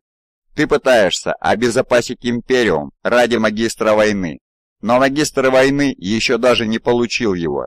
Меня не заботит, насколько благородны были твои намерения. Агент Альфа-Легиона не может предать своих повелителей и после этого прожить долго. «Не убивайте меня, пожалуйста!» — взмолился Авгурам. «Я еще могу пригодиться!» Амигон склонился над ним. Такая близость выглядела зловеще. «Мы Альфа-Легион, Валькерн», — С ведомо или без ведома мы всякому находим применение. Гамма. Оператус Гидро-5. Истекшее время Омега-2. Дробь 002.68. Дробь дробь ОСТ. Мрак 950. Астероид Троян. Абордажная торпеда «Арголет» дрейфовала в вакууме системы «Октис». Она, словно пуля в темноте, рассекала мерзлую пустоту, сохраняя скорость и неизменный курс. Октис походил на заброшенный угол галактики.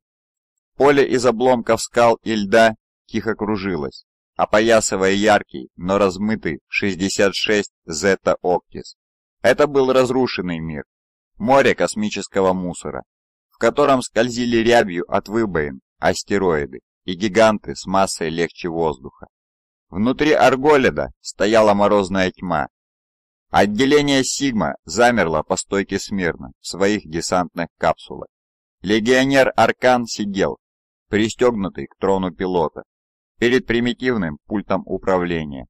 Амигон стоял возле узкой полосы бронестекла, которую лишь натяжкой можно было назвать иллюминатором. Вытерев с ее поверхности иней, он пустил во мрак торпедного отсека яркий луч света поярче. Итак, 66 Зета Октис был уже близок. Рунические панели и палубный настил блестели и искрились ледяным сиянием. Несколькими часами ранее Амигон приказал Аркану отключить в торпедном отсеке все, что могло выдать их присутствие, обогрев, гравитацию, системы жизнеобеспечения. Все легионеры облачились в полную броню и шлемы, включили магнитные фиксаторы на ботинках. Арголит в последний раз испустил огненную вспышку перед тем, как кануть во тьму и промчаться между двумя безмолвными и яростными гигантами. Безмятежная океанская зелень их гладкой поверхности противоречила истинному характеру планет. За нею скрывались невообразимые сила и давление, ветры, которые дули со скоростью в тысячи километров, вечные шторма и циклонные ямы, зоны интенсивной радиации и притяжения, способные поймать комету. Аркан представил простую астролябию к оптике шлема и сделал измерения сквозь очищенную секцию. Солнечный луч внезапно исчез, сигнализируя, что некий предмет прошел между Арголидом и пугающей близкой звездой Октис. «Итак?» — спросил Амигон, посмотрев на легионера. «Идем к цели, мой повелитель», — ответил Аркан. «До тех пор, пока обо что-нибудь не ударимся». «Мы не можем привлекать внимание корректирующей вспышкой», — сказал Амигон. Однако они ничего не могли поделать с кусками металла и камня, которые, вращаясь, летели в их сторону через открытый космос. Перед укрепленным носовым обтекателем абордажной торпеды вращалась величественная громада «Мрак 950». Похожая на горную гряду, она мчалась сквозь вакуум на колоссальной скорости. Неправильной формы астероид был изрыт кратерами, следами столкновений и трещинами. Аркан указал на глубокий раскол в скалистой поверхности. Природный объект на 61 градус 39 минут эклиптики, или как его фамильярно называл персонал объекта, у пустоты за пазухой. Глубокую трещину выбрали в качестве точки проникновения для Альфа-легиона. Амигон наблюдал, как колоссальный астероид, формой схожей с луковицей, валится навстречу, крутясь вокруг своего центра тяжести. Примарх молчал, но его впечатлили вычисления Аркана. Абордажная торпеда не только исключительно по инерции приближалась к цели, но и очень точно попадала в дыру с рваными краями, зияющую в брюхе астероида, в то время как гигантская скала медленно вращалась в вакууме.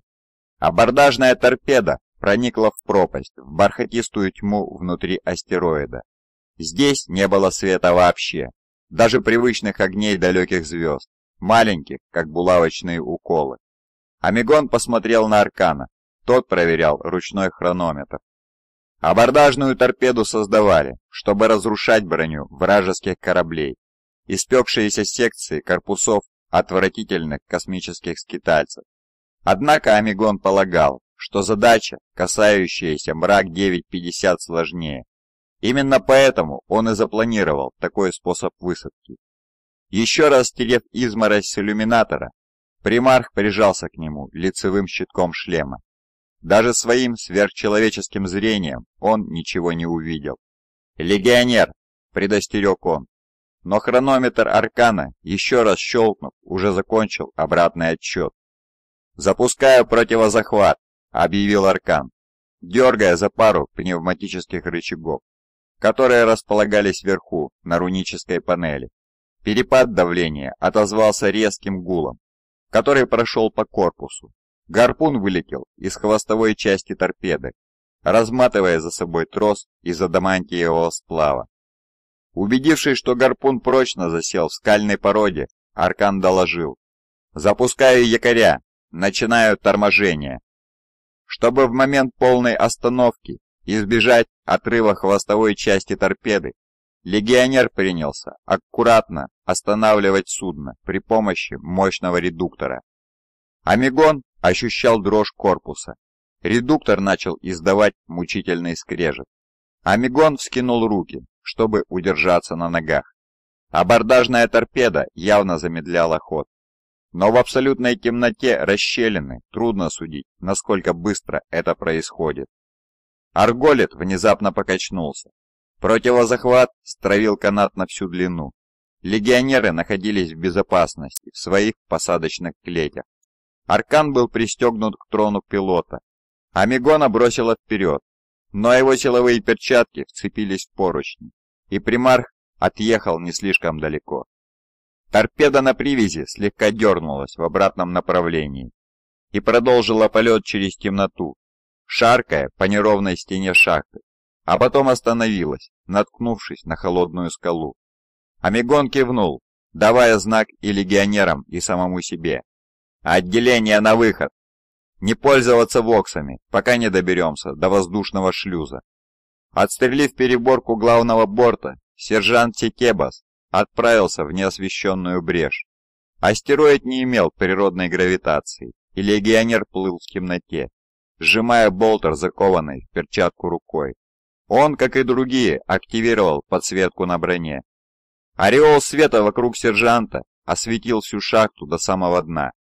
Альфа-легионеры поняли, как мало им оставалось до столкновения. Воины звена Сигма, паря во тьме, один за другим присоединились к сержанту возле узкого выхода в пещеру. «Вперед, сержант!» Амигон подал сигнал, побуждая Сикебаса, в свою очередь, передать то же самое Зантину. Язык жестов легиона представлял собой плавную череду ловких движений руками. Они с легкостью расшифровывались посвященными и не имели никакого смысла для посторонних.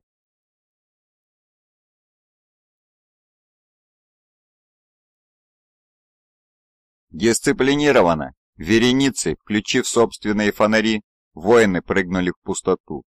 Цепляясь керамитовыми пальцами за выступы горной породы и трещины в камне, легионеры отталкивались ногами, и перемещались между точками опоры. Занькин держал перед собой болтер, нацеленный в темноту ветвящихся туннелей и углублений.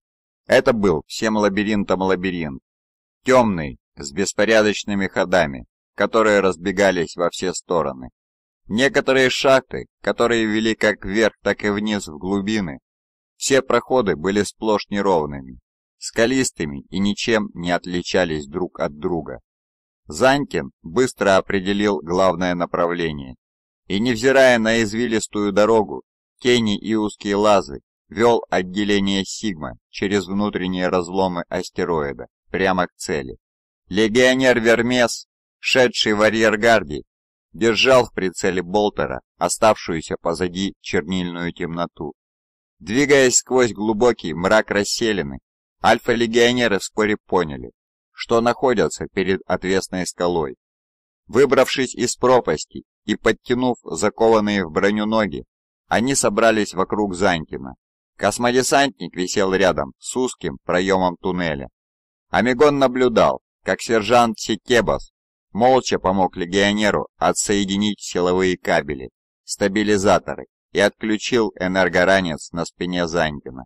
Сетебас протолкнул Зантина в доспехах, ставших теперь мертвым грузом в узкую дыру. И каждый легионер отделения Сигма прошел ту же процедуру, пока все они не оказались в туннеле. Там они восстановили энергоснабжение доспехов, систему жизнеобеспечения и сенсорику боевой брони. Дальше легионерам пришлось долго ползти. Фигуры в броне двигались, подтягиваясь на руках. Все чаще попадались осколки камней и зависший в пустоте реголит. По шлемам и наплечникам легионеров постукивал гравий. Амигон обнаружил, что вынужден толкать перед собой целую кучу мелких камней, чтобы не застрять в узком проходе. Наконец туннель привел их к большой пещере, и Амигон сумел убрать с дороги летающий щебень. Зантин же собрал целую коллекцию валунов. Большие куски скалы болтались в невесомости, плавно, но с сокрушительной силой ударялись друг о друга.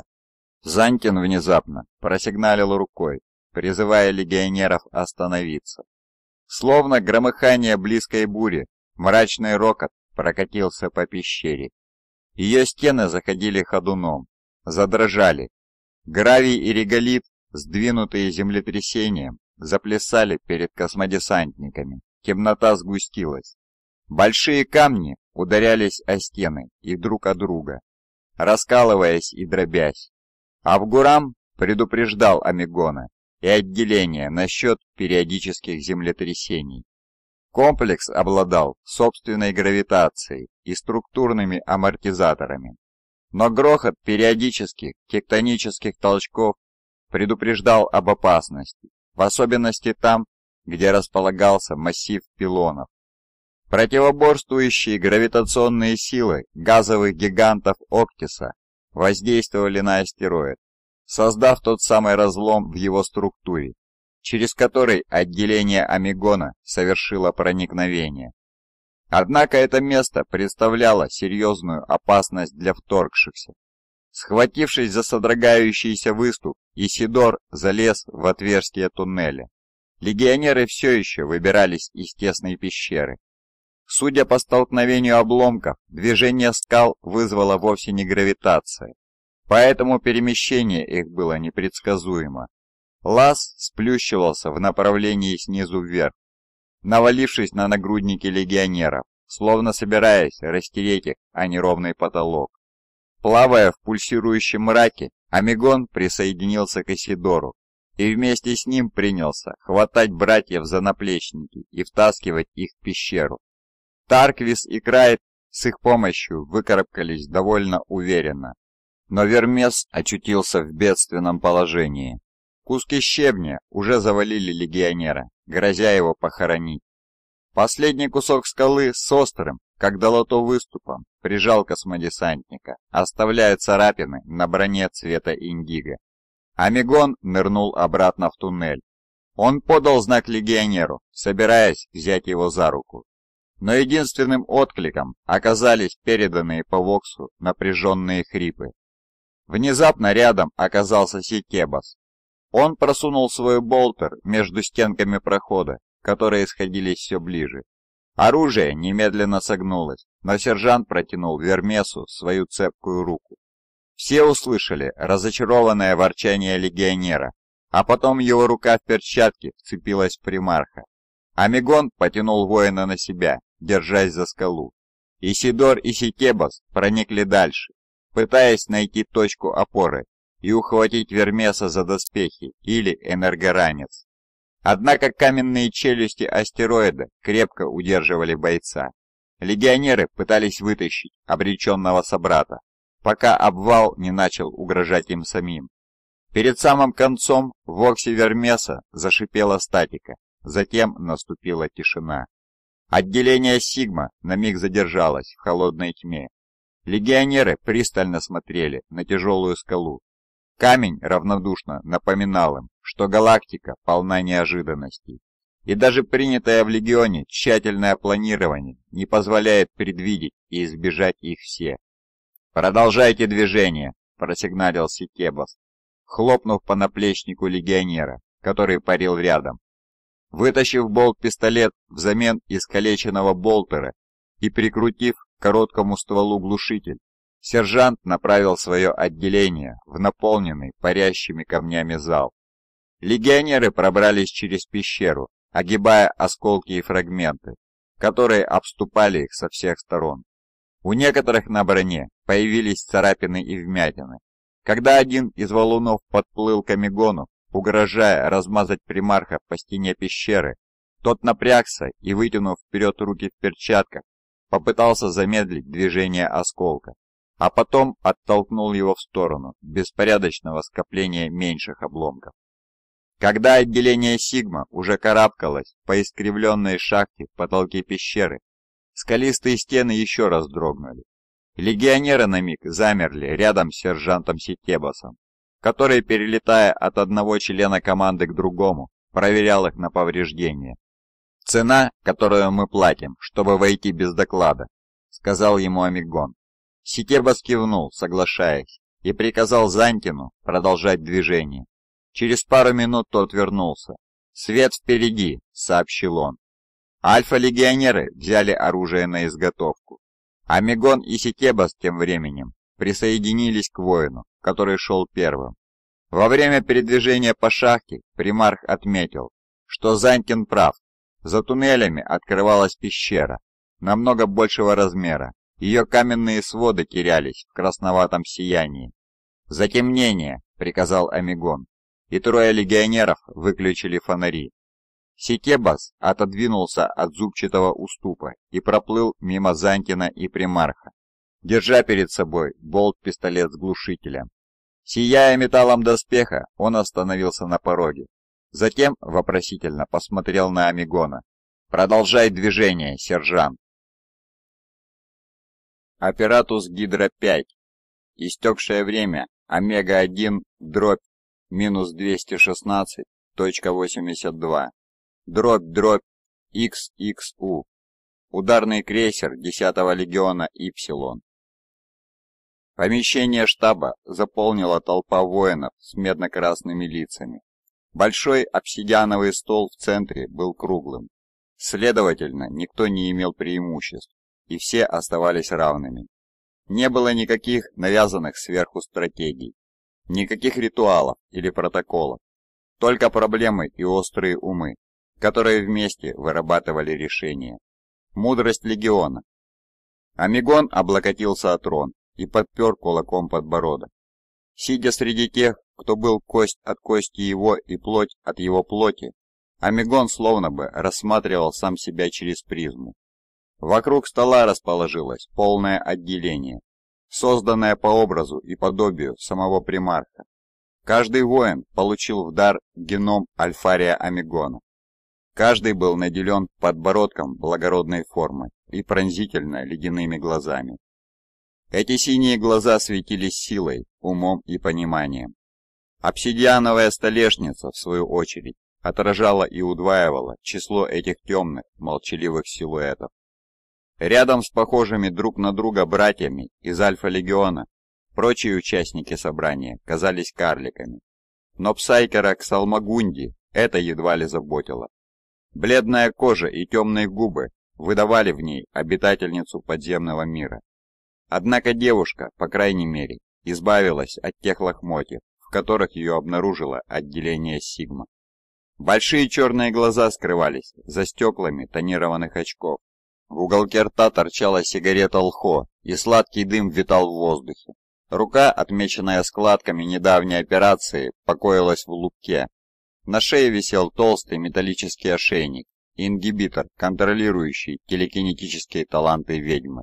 Ксалмагунди поначалу возражала, но на борту Ипсилона Ши Дранка настоял на этой предосторожности. Это сильно отличалось от боли, которую причиняло присутствие сестер безмолвия. Глушитель успокаивал, вызывал состояние приятного умиротворения и послушания. Так велел сам Амигон. Он не считал нужным мучить Псайкера без особой необходимости. и Валькерн Авгурам лично выполнил регулировку. Эмпермастер занимался тем, что переставлял иглы и трубки в отверстиях на лице. Амигон решил, что это нервный тик. Авгурам при любой возможности старался доказать свою полезность и вновь приобретенную лояльность, начиная от изготовления ошейника для Ксалмагунди и заканчивая деталями, которые улучшали систему безопасности объекта мрак. Мастер склонил голову в подсвеченном капюшоне на бок, когда внутренний логический движок произвел самообновление. «Знакомиться нет смысла», — начал Амигон. «Все мы знаем, кто мы такие». Авгурам слегка, но не без удовольствия удивился. «Я полагал, вы все называетесь альфариями», — произнес он через микровокс у горла. «Времена меняются», — отозвался Амигон холодно. Сказанное никто не прокомментировал. «Мрак 950», — продолжил он, нажимая кнопку на троне и вызывая гололитическое изображение астероида. «Вот планете Земаль класс С. Там и находится этот мрак. Он – база Легиона, уровень доступа Вермиллион. И эта база – наша цель. Кому-то нужно время для осмысливания. Ситебас и другие воины отделения Сигма оторвали пристальные ледяные взгляды от гололитического изображения астероида. Если характер цели вызывал у них вопросы, самое время было сказать об этом. Ситеба слегка покачал бритой головой. Данные разведки дают основания полагать, что мрак и проекты с уровнем доступа Вермиллион поставлены под угрозу, продолжил примар. Утечка подтверждена. Агент, уточнил Исидор, бросив взгляд на импермастера. Член легиона, отрезал Амигон. Он с интересом отметил удивление собравшихся и усилия, приложенные, чтобы это удивление замаскировать. «Кто получатель?» – спросил Сикебас. «Да кто угодно», – серьезно ответил Амигон. «Шпионы Императора, наемники магистра войны, лазутчики ксеносов. Теперь уже не важно. Объект мрак не должен попасть в руки врага. Мы должны пробиться на базу, зачистить все тамошние технологии и персонал, Амигон позволил смыслу сказанного дойти до легионеров. На этот раз они не дрогнули. «Почему бы не использовать для разрешения непосредственно Бетту?» — рискнул спросить Крайт.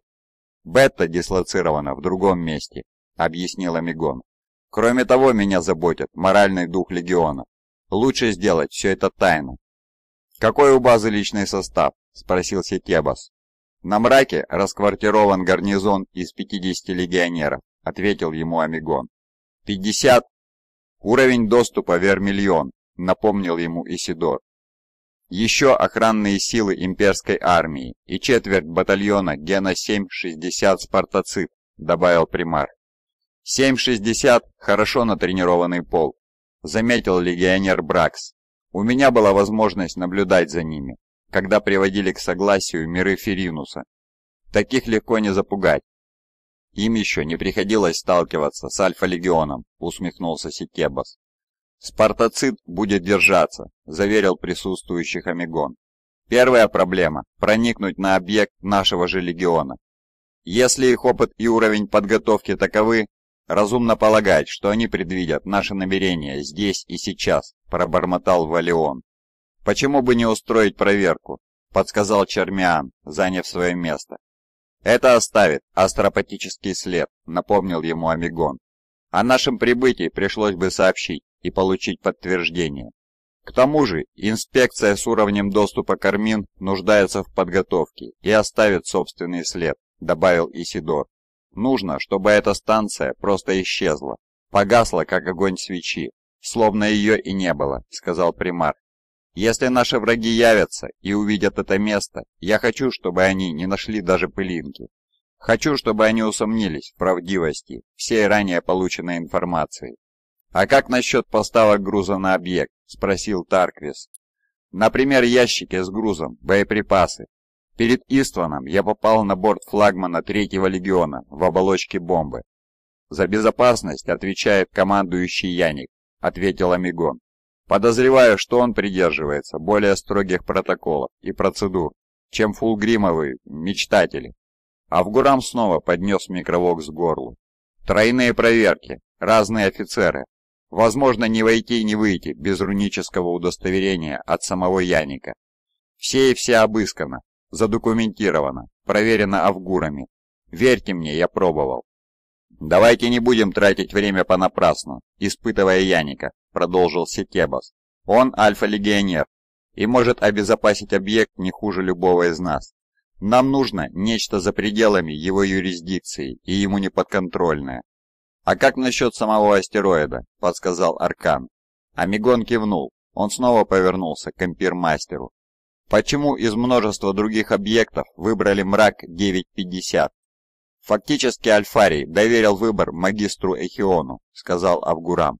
«Мои вычисления лишь установили, что система Октис и окружающие ее области с точки зрения динамической и метеорологии связаны противоклоническим образом с Хандаксом. «Выражайся яснее, Валькерн», — сказал Амигон. «Расскажи нам о скале». «Это воистину гениально», — невозмутимо продолжил Авгурам. Восхищение сквозило в его голосе. Мрак-950 является местом тайных операций, о которых остальная часть Империума ничего не знает. «Тут замешаны ксеносы?» — спросил Исидор. «Точно. Демиурги. Раса космических скитальцев которая редко появляется на территории Империума. По крайней мере, теперь понятно, почему я никогда не слышал о них, пробормотал Ситебас. Враждебны? Технологически продвинуты, но, кажется, миролюбивы по отношению к другим ксенокультурам, многие из которых были уничтожены во время Великого Крестового Похода, объяснил эмпирмастер. Демиурги, в основном шахтеры и торговцы. Они копаются в астероиде, сказал Амигон.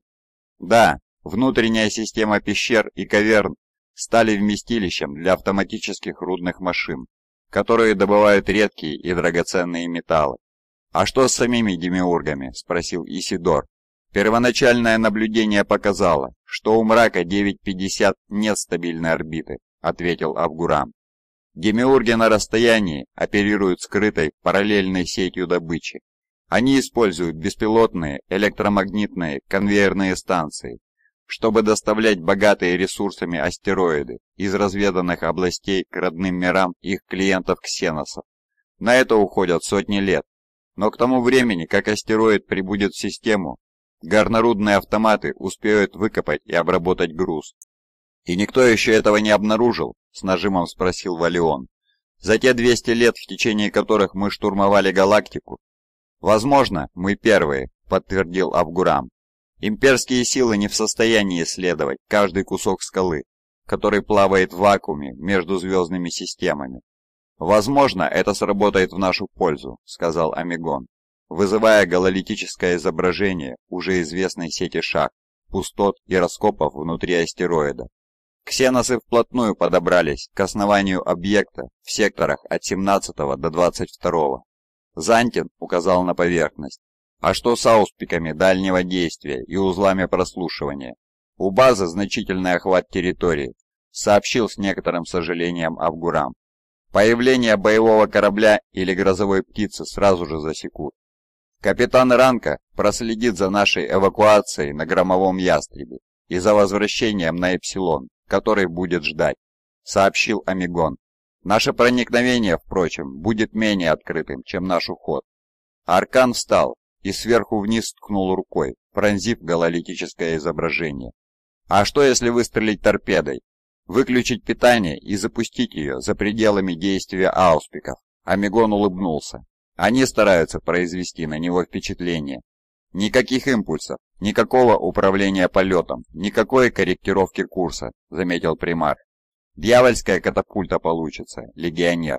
Да, мой повелитель, с усмешкой заверил его Аркан, так и получится. План складывался, и Амигон его оценил. Скажи мне, Валькерн, эта автоматическая дрянь станет сопротивляться? Я не могу знать, как поведут себя технологии чужаков, предупредил Эмпирмастер. Однако мне кажется, что их вооружение служит лишь для защиты рудников. Не сомневаясь, в случае нападения они сочтут, что груз в опасности, и оплатят той же монетой. Мне кажется, их логика нацелена на защиту территории. Они не опасны для объекта мрак, потому что там нет ничего такого, в чем бы автоматы нуждались бы и что захотели бы защищать. «Надеюсь, ты прав», — сказал примар.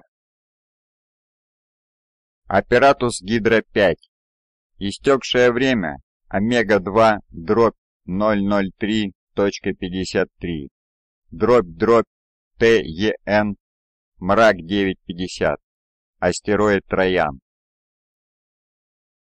Амигон прокладывал путь по потолку пещеры. Сикебас и Зантин первыми выбрались из шахты. Отделение Сигма двигалось вереницей, цепляясь за каменные выступы. Их закованные в броню ноги плыли в невесомости. Когда сержант провел всех легионеров через потолок, Амигон, подтянувшись, получил возможность рассмотреть причину, вынудившую их всех идти окольным путем. Внизу, в вакууме и тишине, гигантские машины вгрызались во внутренности астероида. Вздутые, медного цвета, они напоминали Амигону, беременных паучьих, которые долбят дно пещеры многочисленными острыми лапами. Металлические зубья на брюхах вращались, измельчая скалу подобно бурам.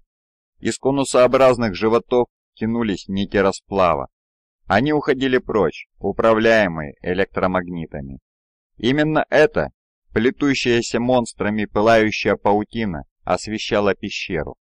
Однако раз в несколько секунд ее бронзовый блеск мерк, заглушенный яркими вспышками, когда автоматы долбили пещеру короткими лазерными импульсами.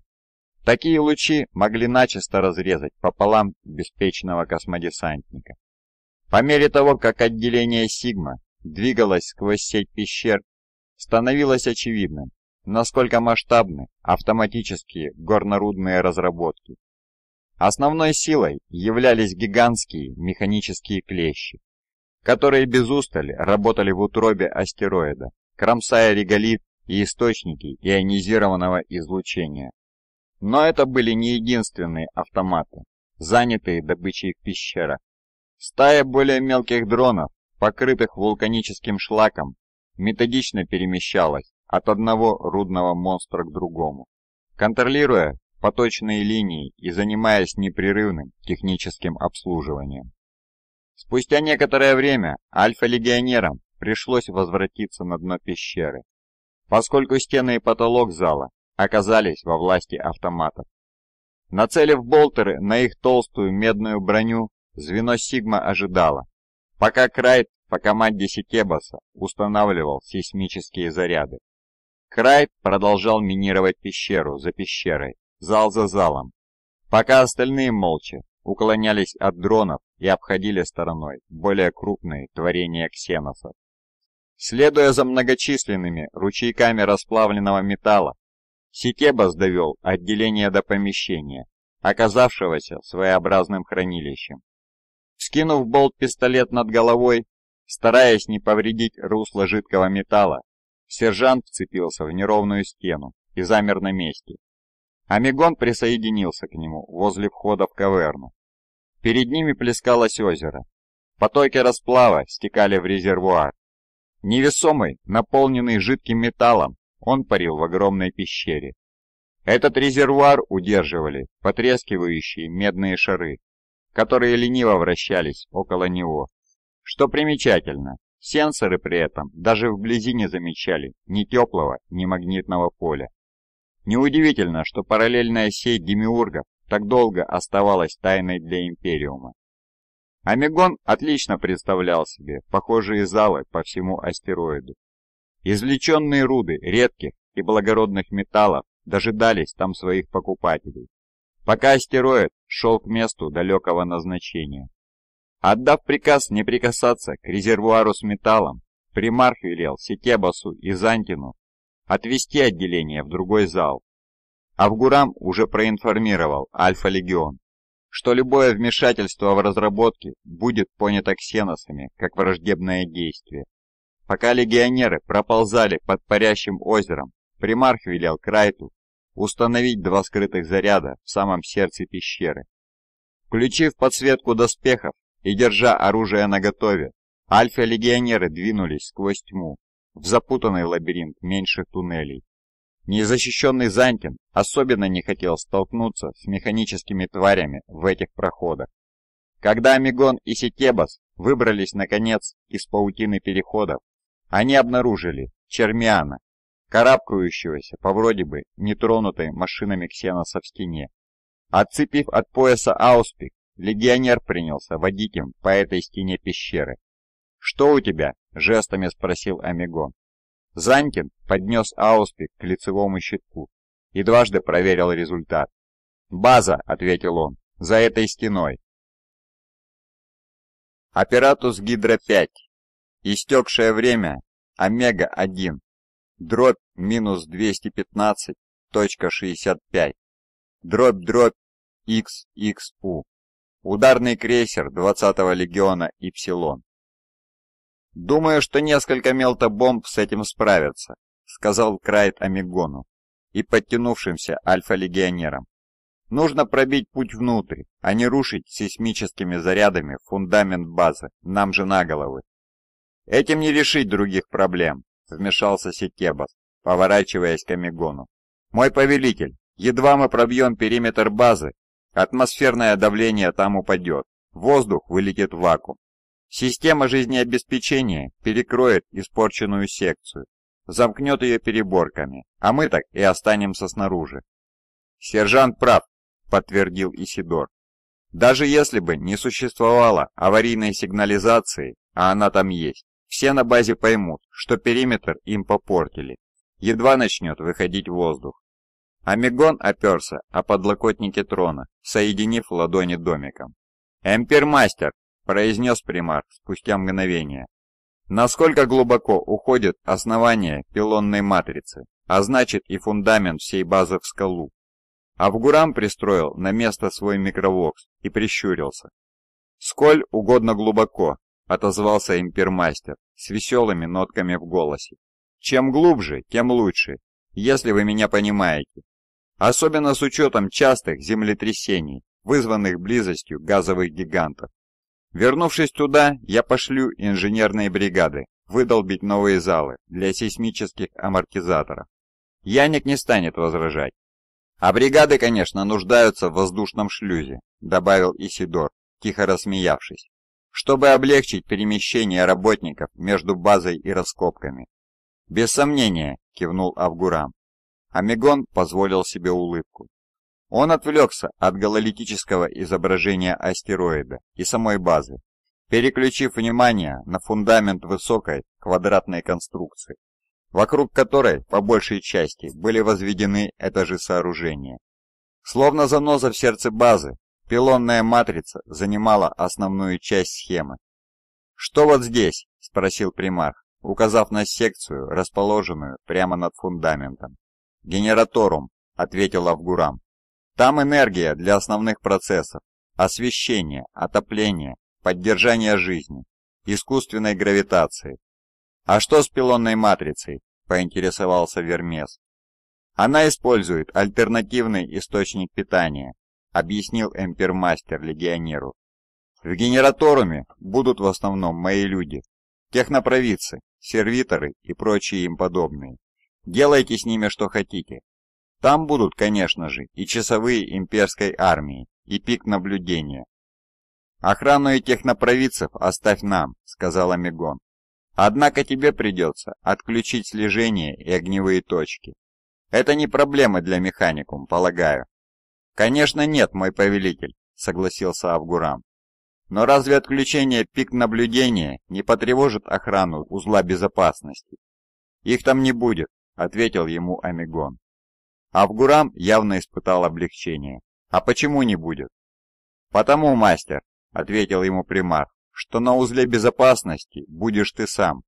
Займешься слежением за нашим продвижением по базе и станешь предупреждать об угрозах. Но часовые...» «Время заморать руки», — заявил Ситебас, похлопав импермастера по спине. «Не волнуйся, я и не жду, что ты лично ввяжешься в драку с офицерами из гена 760 Спартацит, заметил Амигон.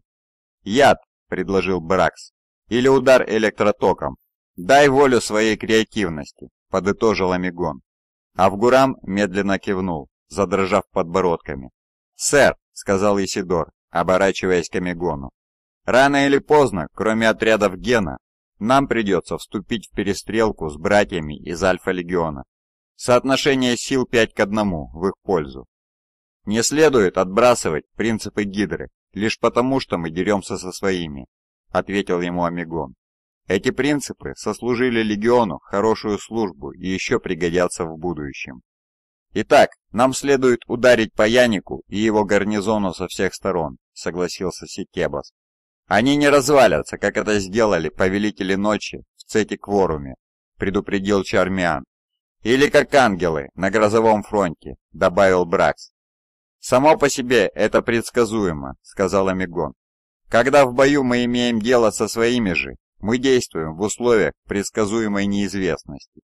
Нужно внести беспорядок в ряды братьев-легионеров, уравнять возможности. «Ваши планы, мой повелитель?» – спросил Сетебас. Примарх склонился над гололитическим дисплеем. Он обдумывал детали. «Можно ввести в игру скитариев Эмпирмастера», — сказал наконец Амигон и кивнул Авгураму. Затем он ткнул в сторону охраняемого блока на схеме. Некоторые возможности дает псипениторий. К тому же наш маршрут проникновения можно заминировать, чтобы в подходящее время возле наших соседей-ксеносов грохнуло, и они вступили в игру. Крайт, понимающе кивнул. «А как быть с магистром Ахионом?» – настойчиво спросил у примарха Абгурам. «Он прежде был в вашем библиариуме». «Что ты знаешь о таких делах?» – отрезал Амигон. Эмпермастер скинул руку, словно защищаясь. «Мой повелитель, он обладает сокровенным пониманием имматериума. Очевидный выбор для такого объекта. Это он был причиной утечки?» «Возможно», — кивнул Амигон. Он силен? В чем дело? Собрался выпустить ему всю кровь во имя своих нечестивых целей? С моей точки зрения, он гораздо сильнее нашей юной леди, ответил Авгурам, кивком головы указывая на Ксалмагунди.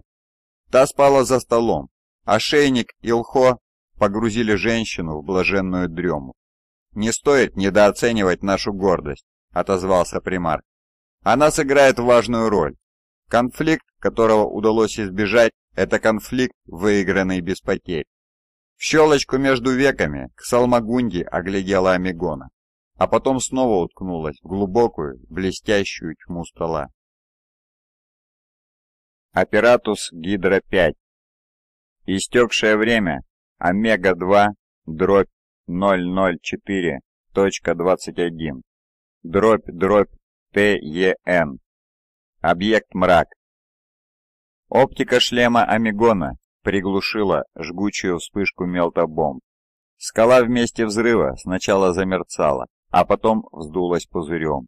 Лопнула и с чавканием расплескалась лавой, которая, остывая, превращалась в спиралевидные потеки почерневшего камня. Лучи света устремились из освещенной лампами пещеры наружу. Воины отделения которых вел сержант Сикебас, прошли сквозь быстро остывающую брешь. Теперь они очутились в области искусственной гравитации объекта. Доспехи больше не плавали в невесомости. Вес керамита прижимал их к полу и позволял твердо ставить ноги. Амигон наслаждался таким надежным хрустом гравия под бронированными ботинками. Движения ускорились и стали увереннее, Внутренние пещеры больше не могли дезориентировать отделение Сигма, и оно использовало давно практикуемое и хорошо известное попарное построение.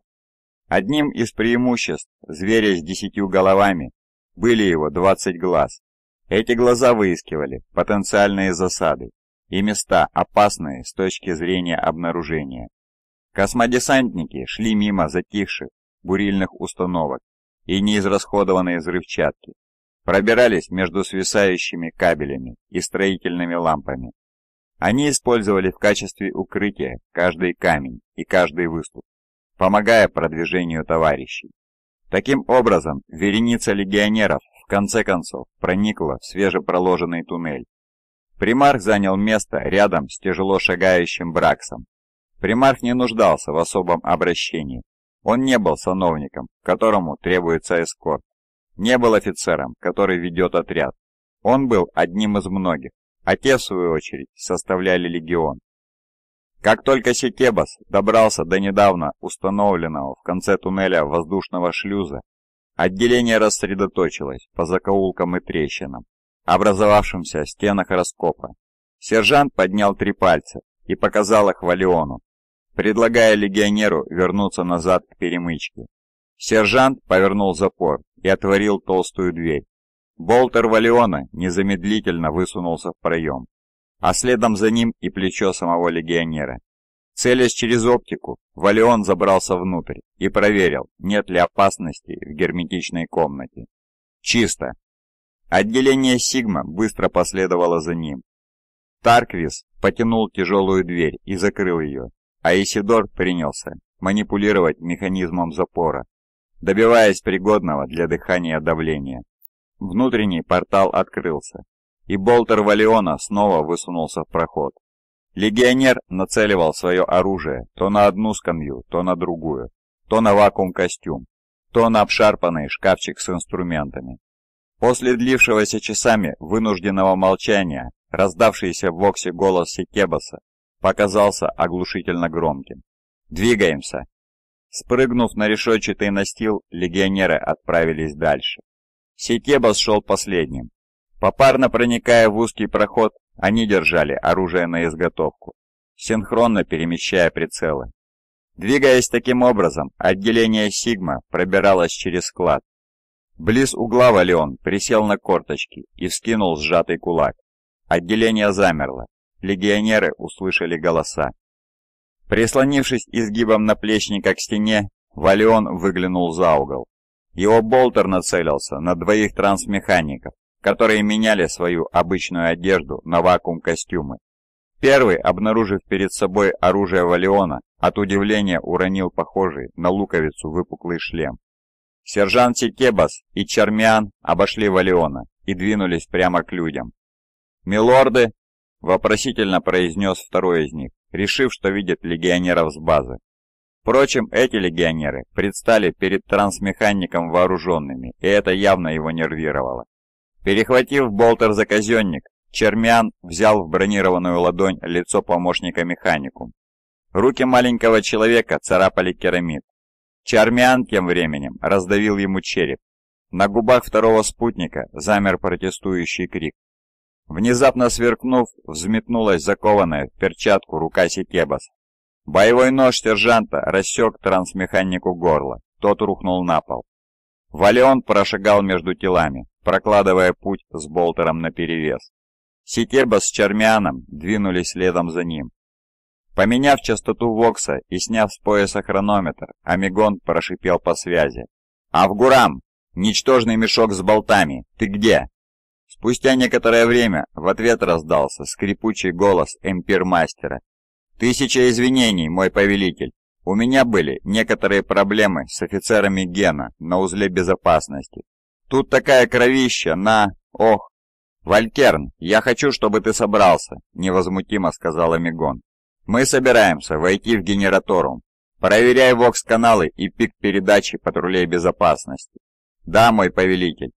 Отделение Сигма покинуло помещение в основании базы и двинулось дальше, минуя череду служебных лестничных клеток. Чуть позже они очутились перед закрытой пневматическим способом переборкой. «Авгурам!» – передал по связи Амигон. «Мы в М-72С!» Раздался тяжелый стук запорного механизма, и переборка отъехала в сторону, под шум выходящего воздуха.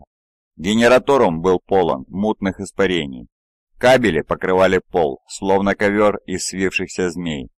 Кабели же свисали из отверстий в потолке, Термокристаллические магнореакторы жужжали, подавая энергию в режиме сверхнагрузки. Между ними, накаляя воздух, время от времени сверкали дуги разрядов. Фигуры перепачканных и покорных сервиторов замерли на своих местах. Технопровидцы тем временем проверяли машины, контролируя подачи священных масел. Один из жрецов с покрытой капюшоном головой прервал чтение катехезиса, ошарашенный появлением легионеров. Валион, держа болтер наперевес, бесстрастно шагнул вперед.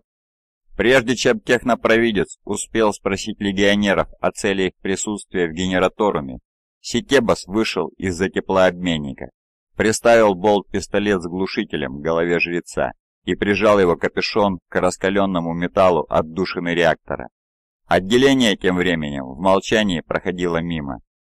Жрец забормотал было извинения, но Ситебас разнес ему голову приглушенным выстрелом из болтера. Оттолкнув упавшее тело носком ботинка, сержант присоединился к арьергарду. Легионеры отделения «Сигма», словно призраки, двигались среди клубов масляного пара и струй охладителей, уничтожая всех замеченных по пути. Сервиторы вяло наблюдали, как еще семь технопровидцев и три лекс-механика за руническими пультами отправились на тот свет. Альфа-легионеры двигались среди вентилей реактора, набирая смертоносную скорость. Им не понадобилось много времени, чтобы добраться до караульного поста возле взрывозащитной двери инженерного отсека. Пятеро солдат из гена 760 «Спартацит» находились на посту. Над ними с потолочного рельса в безмолвии свисал ствол сторожевой мультилазерной пушки с прикрепленной пик-камерой. Воины Спартацида были мускулисты и не обладали чувством юмора. Их лица скрывались под шлемами. Глаза мрачно глядели сквозь прорези. Каждый щеголял гребнем, длина которого соответствовала званию. Поношенные плащи свешивались с покрытых броней плеч. Эта броня представляла собой разномастные пластины и заплаты из металла. Каждый воин держал короткий лазерный карабин с толстым стволом и соответствующей батареей. 7,60 спартацит имели замечательную историю. Но Великий Крестовый Поход, в конце концов, вернул полк Гена с неба на землю. Давно забытая и бесславная война с недолюдьми на Дицене ввергла гордых воинов в безвестность. Отрезанные, плохо снабжаемые и без подкреплений, они легко пошли на переговоры с Альфа-легионом, обещавшим им великую славу на полях сражений. «Авгурам!» – прошипел Амигон по Воксу. «Я слежу за вашим продвижением через генераторум, повелитель», — ответил ему эмпирмастер. «Заглуши вокс-связь на инженерном этаже», — приказал ему Амигон. «Возьми на себя управление сторожевой пушкой генераторума и направь ее на реакторы». Орудие на посту внезапно пробудилось, и воины Спартацида уставились в потолок. Они услышали шум движения мультилазера, но что гораздо важнее, воющий звук, сопровождающий зарядку от массивного блока питания. Как только пушка, отсоединившись, двинулась по рельсу горячим и спускающим пар теплообменником, солдаты разделились на две группы. Двое остались возле двери. Трое с карабинами на плече направились вслед за пушкой. В облаках маслянистого пара, среди потрескивающих реакторов, их поджидало отделение «Сигма». В тот момент, когда один из воинов Спартацида проходил мимо свисающего пучка кабелей, его шлем оказался под прицелом пистолета сержанта Сикебаса. Приглушенный выстрел бросил воина под ноги товарищам и забрызгал их кровью. Люди схватили карабины на изготовку и стали водить стволами по переплетениям труб и кабелей.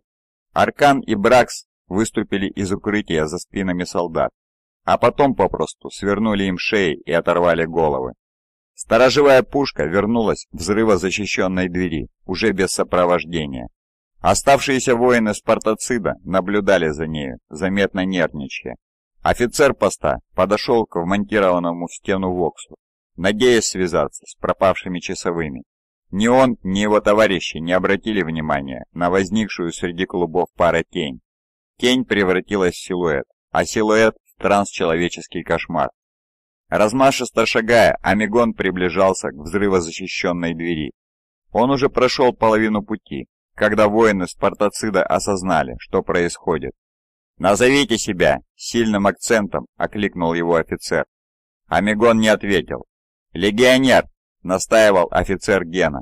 «Соблюдайте протоколы безопасности». Как только толстый ствол солдатского карабина уперся в нагрудник примарха, Амигон моментально выхватил оружие, другой рукой стиснув горло противника. Пока офицер Спартацида без толку колотил по керамитовому предплечью примарха, Амигон медленно дробил ему кости шеи. Солдат вытащил церемониальный клинок, но Амигон отбил эту слабую попытку защититься, вздернул человека вверх и ударил его шлемом о массивную раму сторожевой пушки. Мертвый человек обмяк и повис, словно марионетка. Перешагнув через офицера, Амигон активировал взрывозащищенную дверь. Пока толстая перегородка отъезжала в сторону, отделение Сигма вышло из своих укрытий в генераторуме. Легионеры двинулись дальше, вслед за автоматической пушкой, которая послушно, с мрачным жужжанием покатилась по рельсу. «За вестибюлем найдете запасную лестничную площадку», — подсказал по Воксу Абгурам. «Оттуда можно попасть в верхние этажи объекта». «Запасную?» — переспросил Амигон. «Техноадепты и часовые в основном пользуются лифтами», — объяснил мастер. «Лестницей реже. Она идет вокруг фундамента пилонной матрицы. Гарнизону имперской армии некомфортно близ артефакта. Миновав грузовой лифт, Валион провел отделение к лестничной площадке. Внезапно двери подъемника начали раздвигаться. Занкин и Тарквис расступились и прижались спинами к стене по обе стороны от грузового лифта. Остальные воины отделения придвинулись к стене и скрылись из поля зрения. Легионеры слышали доносящиеся изнутри голоса технопровидцев, передвигающих тяжелое оборудование. Решетчатые ворота поднялись, и перед адептами внезапно возникли Занькин и Тарквис, болтеры которых нацелились в лица жрецов под капюшонами. Занькин немедленно взялся за дело. Раздался ужасный треск костей, и кровь разлетелась брызгами. Второй технопровидец был толст и носил металлическую маску. Атака Тарквиса ошеломила его, но не свалила. Адепт успел попятиться, столкнулся с сервитором лифта. В тот же миг ему в грудь вонзился боевой нож космодесантника. Подхватив тела за ноги, легионеры затащили их в проем лифтовой двери, чтобы подъемник не закрылся и не привез с верхних этажей кого-нибудь еще. «Авгурам!» — позвал Амигон. «Блокируй все подступы к этой лестничной площадке. «Будет сделано, мой повелитель!» «Пси-пениторий на расстоянии двух этажей от вас», — сказал импермастер. «Я уже использовал свой код и разрешил конвоирование пленника. Все, как вы хотели. Мой скитарий будет ждать вас, хотя на случай чрезвычайных ситуаций имейте в виду. На этаже их более двадцати. На случай, аналогичный тому, что мы собираемся устроить. Да, мой повелитель. Пошли в ВОКС сообщение магистру Эхиону. «Скажи, что ситуация в Пенитории требует его личного вмешательства», — велел Амигон. «Но...» «Сделай это немедленно, потом выключи вокс-каналы на этаже». Легионеры начали подъем по лестнице, прижимаясь к стенам по углам и целясь из болтеров в следующий лестничный пролет. Перед ними находилась обширная пилонная матрица, Сквозь решетчатую внутреннюю стену альфа-легионеры видели глянцевый черный камень ксено-артефакта. Они ощущали низкий гул эфирных энергий. Каменный пилон проходил сквозь надстройку базы, пронизывал все этажи объекта и выстроенные вокруг него отсеки. Осторожно ступая близ этого отгороженного решеткой камня, Валион подал сигнал «Шаги!» «Авгурам!» – зарычал Амигон. «Это лишь техножрец, лорд», — отозвался импермастер. «Ах, это моя помощница и ее телохранитель». Отделение Сигма заняло позиции. Каждый легионер приготовился и хранил молчание. Валион скользнул вдоль стены, задевая ее наплечником, и устроился на небольшом пятачке. Старая женщина появилась из-за угла. Металлический обруч придерживал ее растрепанные, редкие и длинные седые волосы. Третий кибернетический глаз, вмонтированный в этот обруч, позволял техножрице читать данные с инфопланшета. Еще несколько планшетов она держала в свободной руке. Ухватив женщину-жрицу своей железной хваткой, Валион потащил ее и швырнул вниз, в лестничный пролет. Сервитор-телохранитель отреагировал мгновенно. Цепной клинок, служивший ему рукой, ожил, зарокотал и метнулся к Валиону. Но легионер отшвырнул дрона, а потом резко придвинулся к нему и движением бронированного наплечника размозжил сервитора о стену. Цепной клинок взвыл и заглох. Легионер подался назад, позволяя изломанному телу стража рухнуть на пол. Амигон наблюдал, как Аркан проверяет тело женщины-жрицы, она падала долго и была мертва, шея сломана. «Авгурам, открой проход ДТ-367Б!» В ответ раздался тяжелый удар открывшегося запорного механизма, и Ситебас заглянул в зазор между запасным выходом и стеной. Амигон, очутившись на наземном этаже пенитория, тоже заглянул в трещину. Пароход вел на широкую палубу с блокированным лифтом.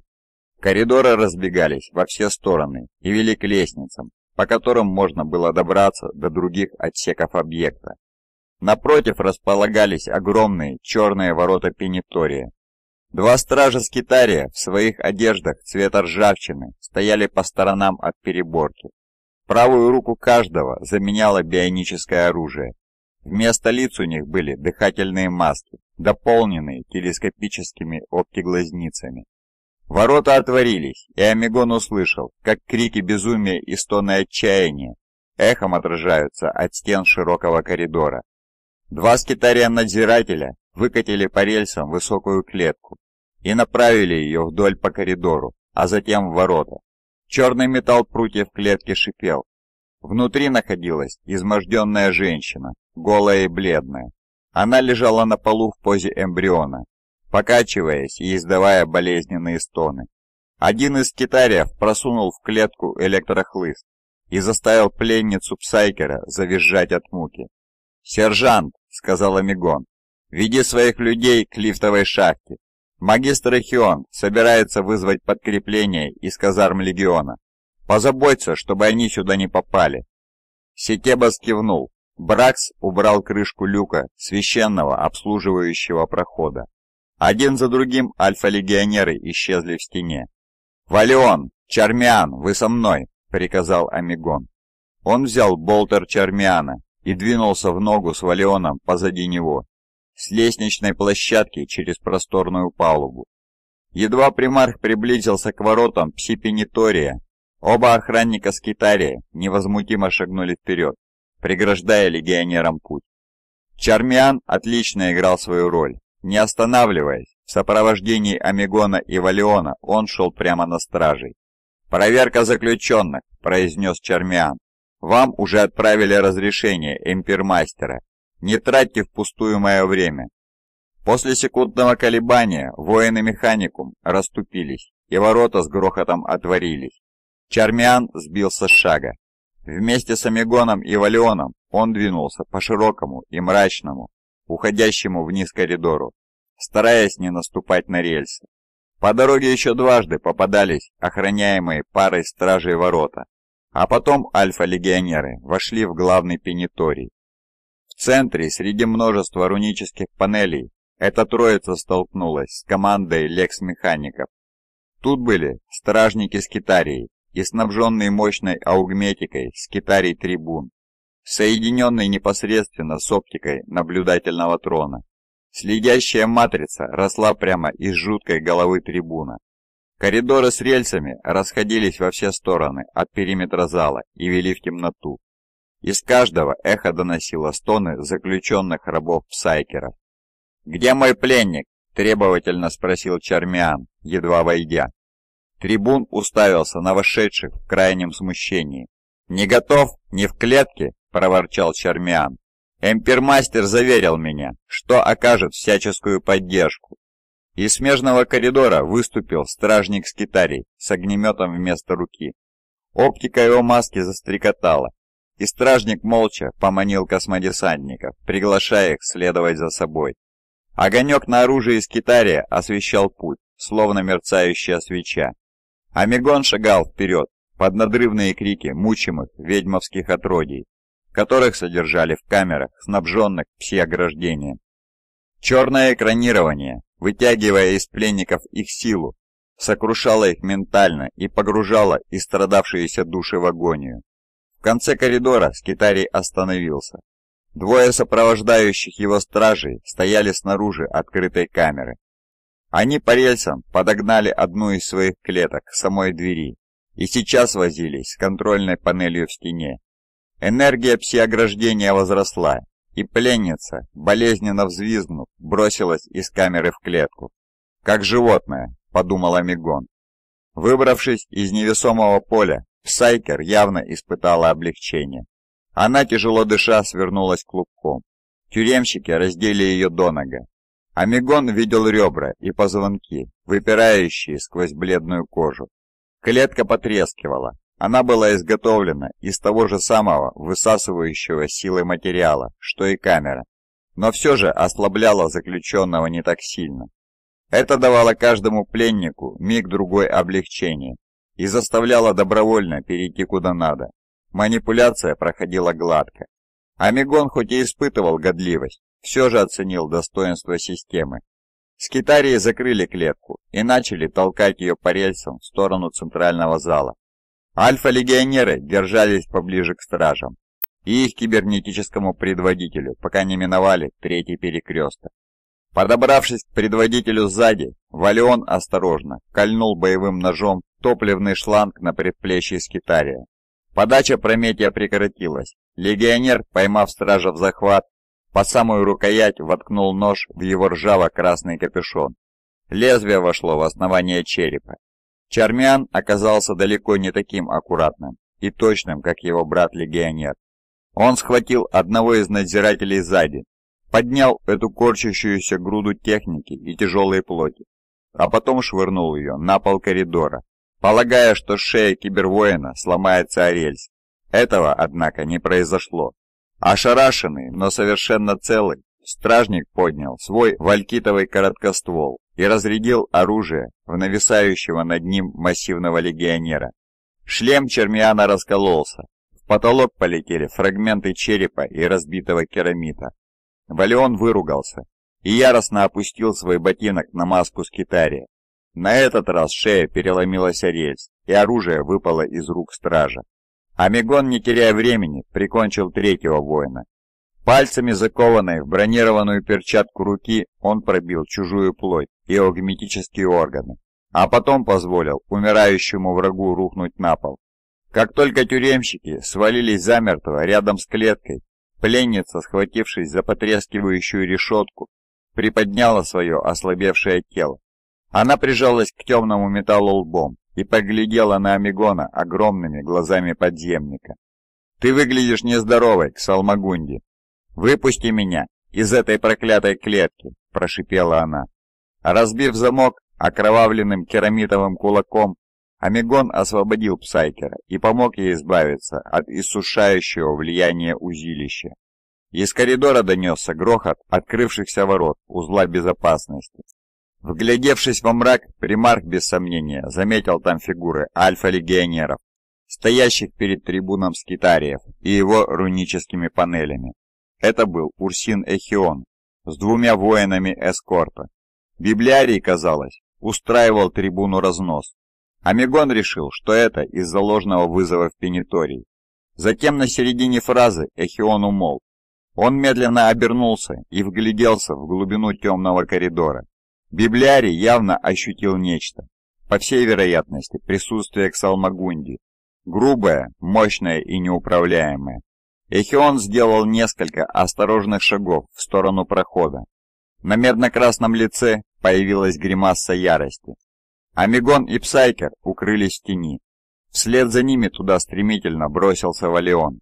«Вызывайте остальных скитариев!» Снова обратился Эхион к трибуну. «У нас удрал заключенный. Включить сигнал тревоги». Низко загудели сирены, и Эхион приказал альфа-легионерам из своего эскорта. «Вызывайте сюда отделение! Немедленно!» Дельта. Аппаратус Гидро-5.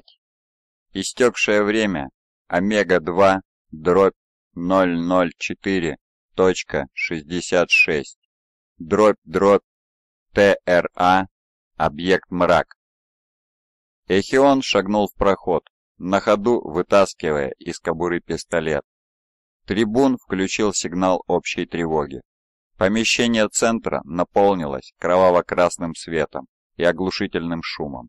Рабы-псайкеры завопили и завизжали в своих камерах, барабаня по толстому черному металлу дверей.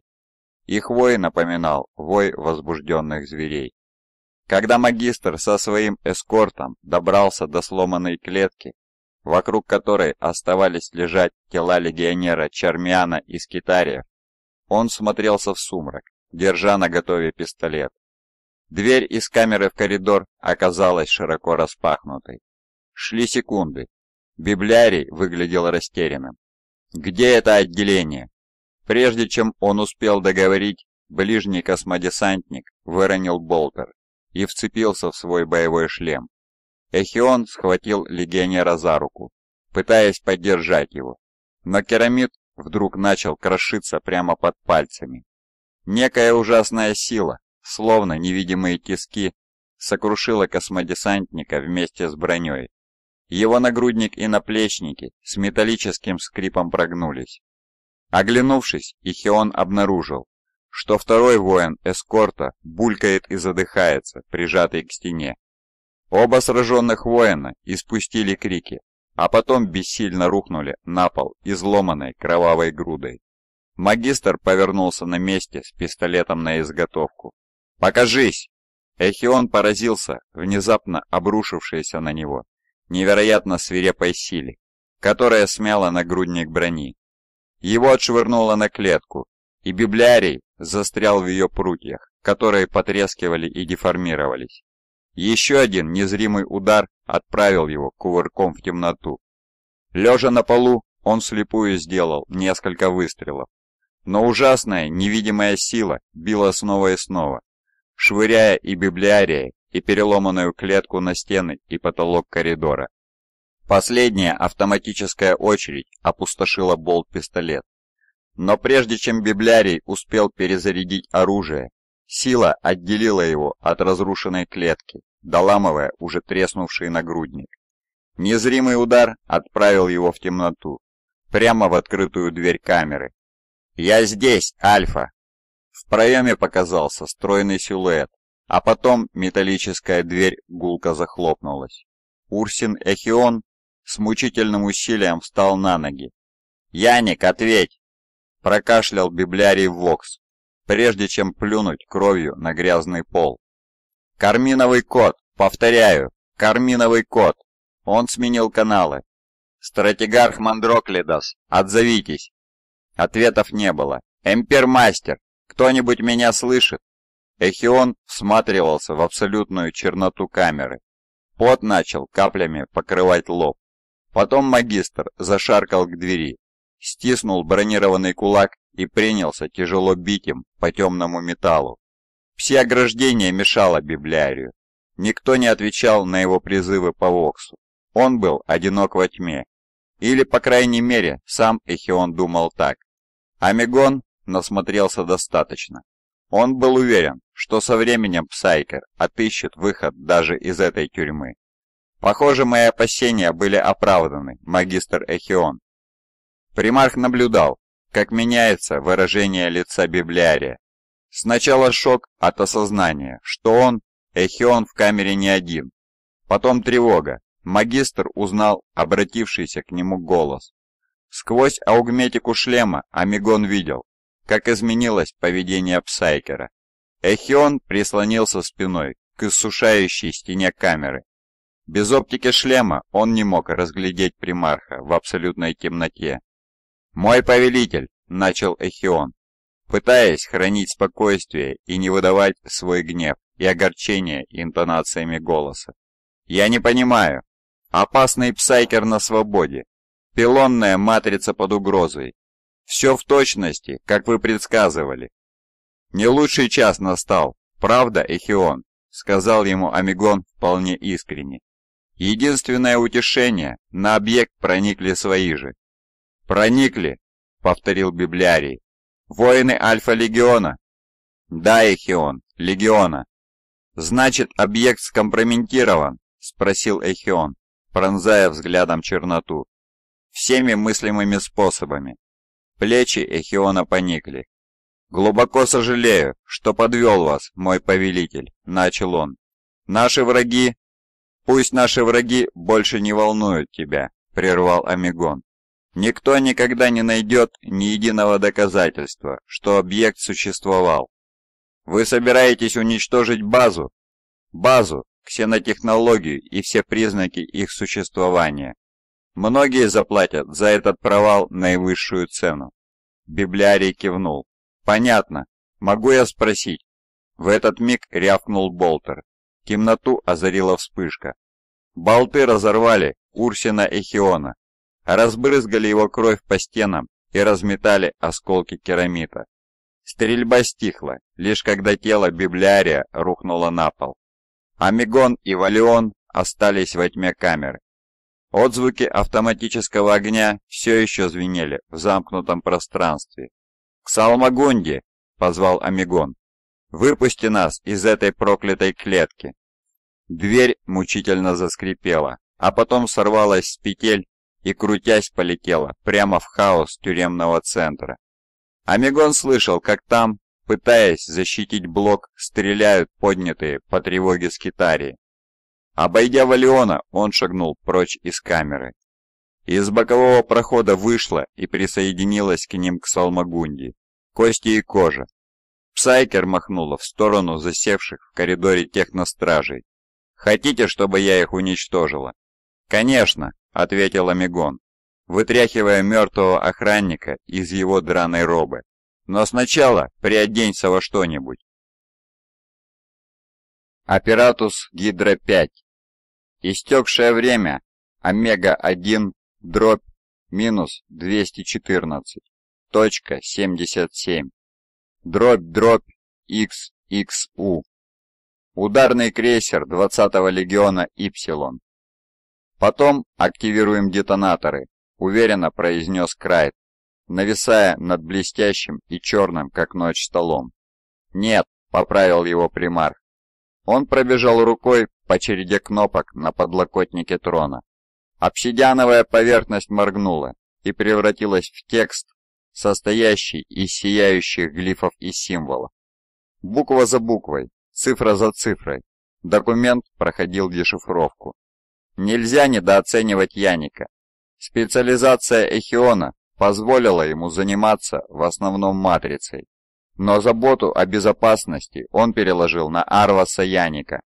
Собравшиеся легионеры изучали плывущие строки послужного списка.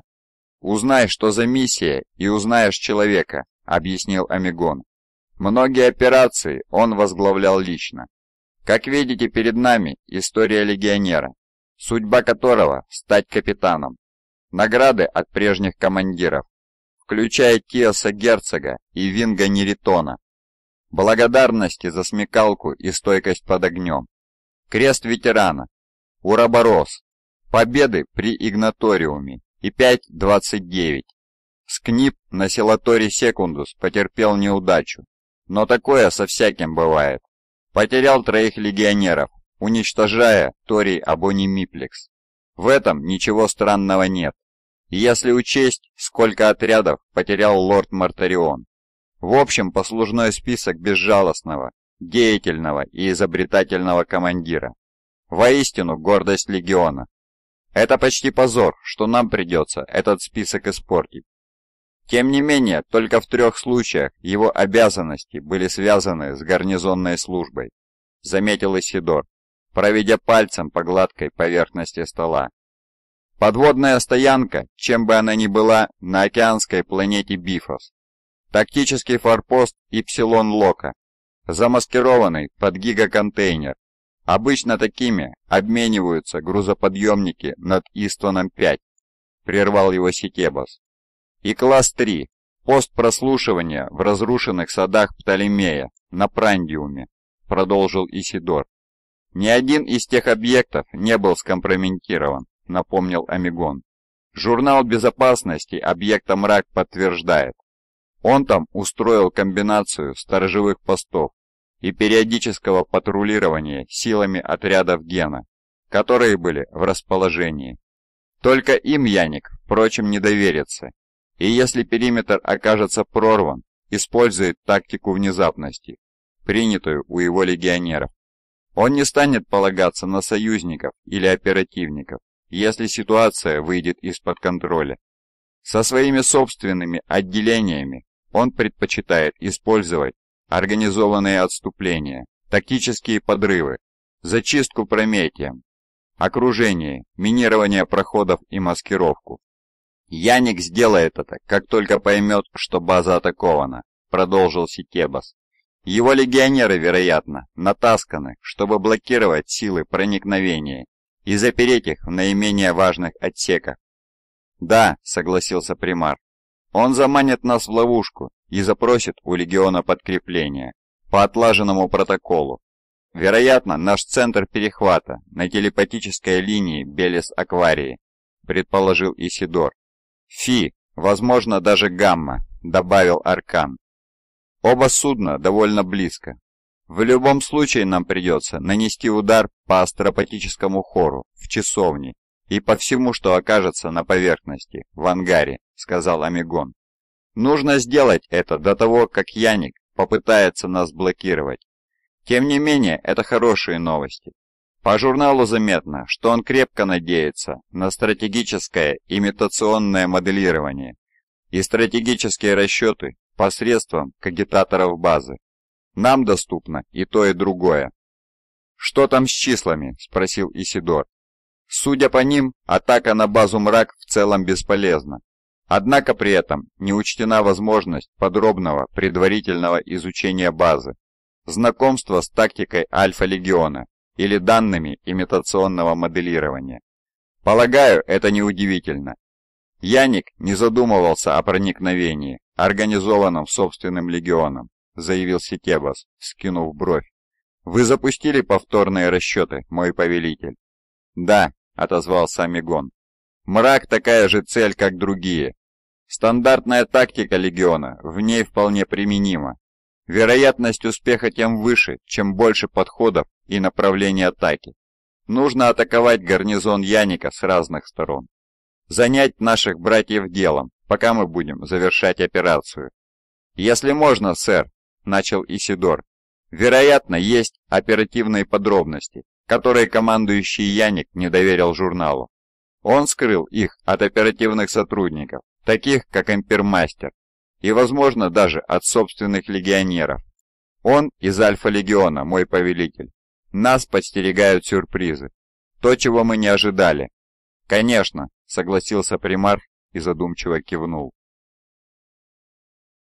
Аппаратус Гидро-5. Истекшее время Омега-2 дробь 004.89 дробь дробь ТРА. Объект мрак. Сержант Сетебас сообщает о сильном сопротивлении на жилом уровне, передал Валион по вокс-связи. Тарквис спускается. Амигон собирался ответить, но слова приказа застряли в горле. Что-то пошло не так, вышло за рамки запланированного. Шагая по коридору Пенатория в сторону центра вместе с Ксалмагунди и Валионом, примарх сосредоточился на силах скитариев, которые перекрывали выход. Миновав боковой проход, он заметил короткое движение, тусклый блеск керамита и понял, что в коридоре еще кто-то есть. Время, казалось, замедлилось. Оружейные стволы полыхнули и осветили мрак темницы. Сокрушающие болтерные выстрелы, словно раскаты грома, рокотали в проходе. «Огонь на подавление!» — приказал Амигон. А потом схватил Ксалмагунди и вытащил ее из-под перекрестных выстрелов. Валион ответил испепеляющим градом выстрелов болтера, целясь в боковой проход. Альфа-легионеры двинулись по нему, используя для прикрытия дверные проемы камер. Высунувшись и пригнувшись, примарх, прежде чем снова скрыться за углом, расстрелял трех ближайших легионеров. Почти сразу же Валион возобновил огонь на подавление, даря Амигону драгоценные секунды на размышление. Примарх отрегулировал канал ВОКС-связи. «Сержант!» — позвал он. «Докладывай!» Ответ прозвучал на фоне непрерывной стрельбы. «Сэр, нас обошли на жилом уровне», — признался Сикебас. «Несем потери, выходы перекрыты». На миг голос сержанта заглушили выстрелы его же пистолета. «На этом уровне нет жилых комнат. Схема ввела нас в заблуждение. Мы пришли прямо под огонь». Амигон ощутил, как его губы кривятся в непроизвольном рычании.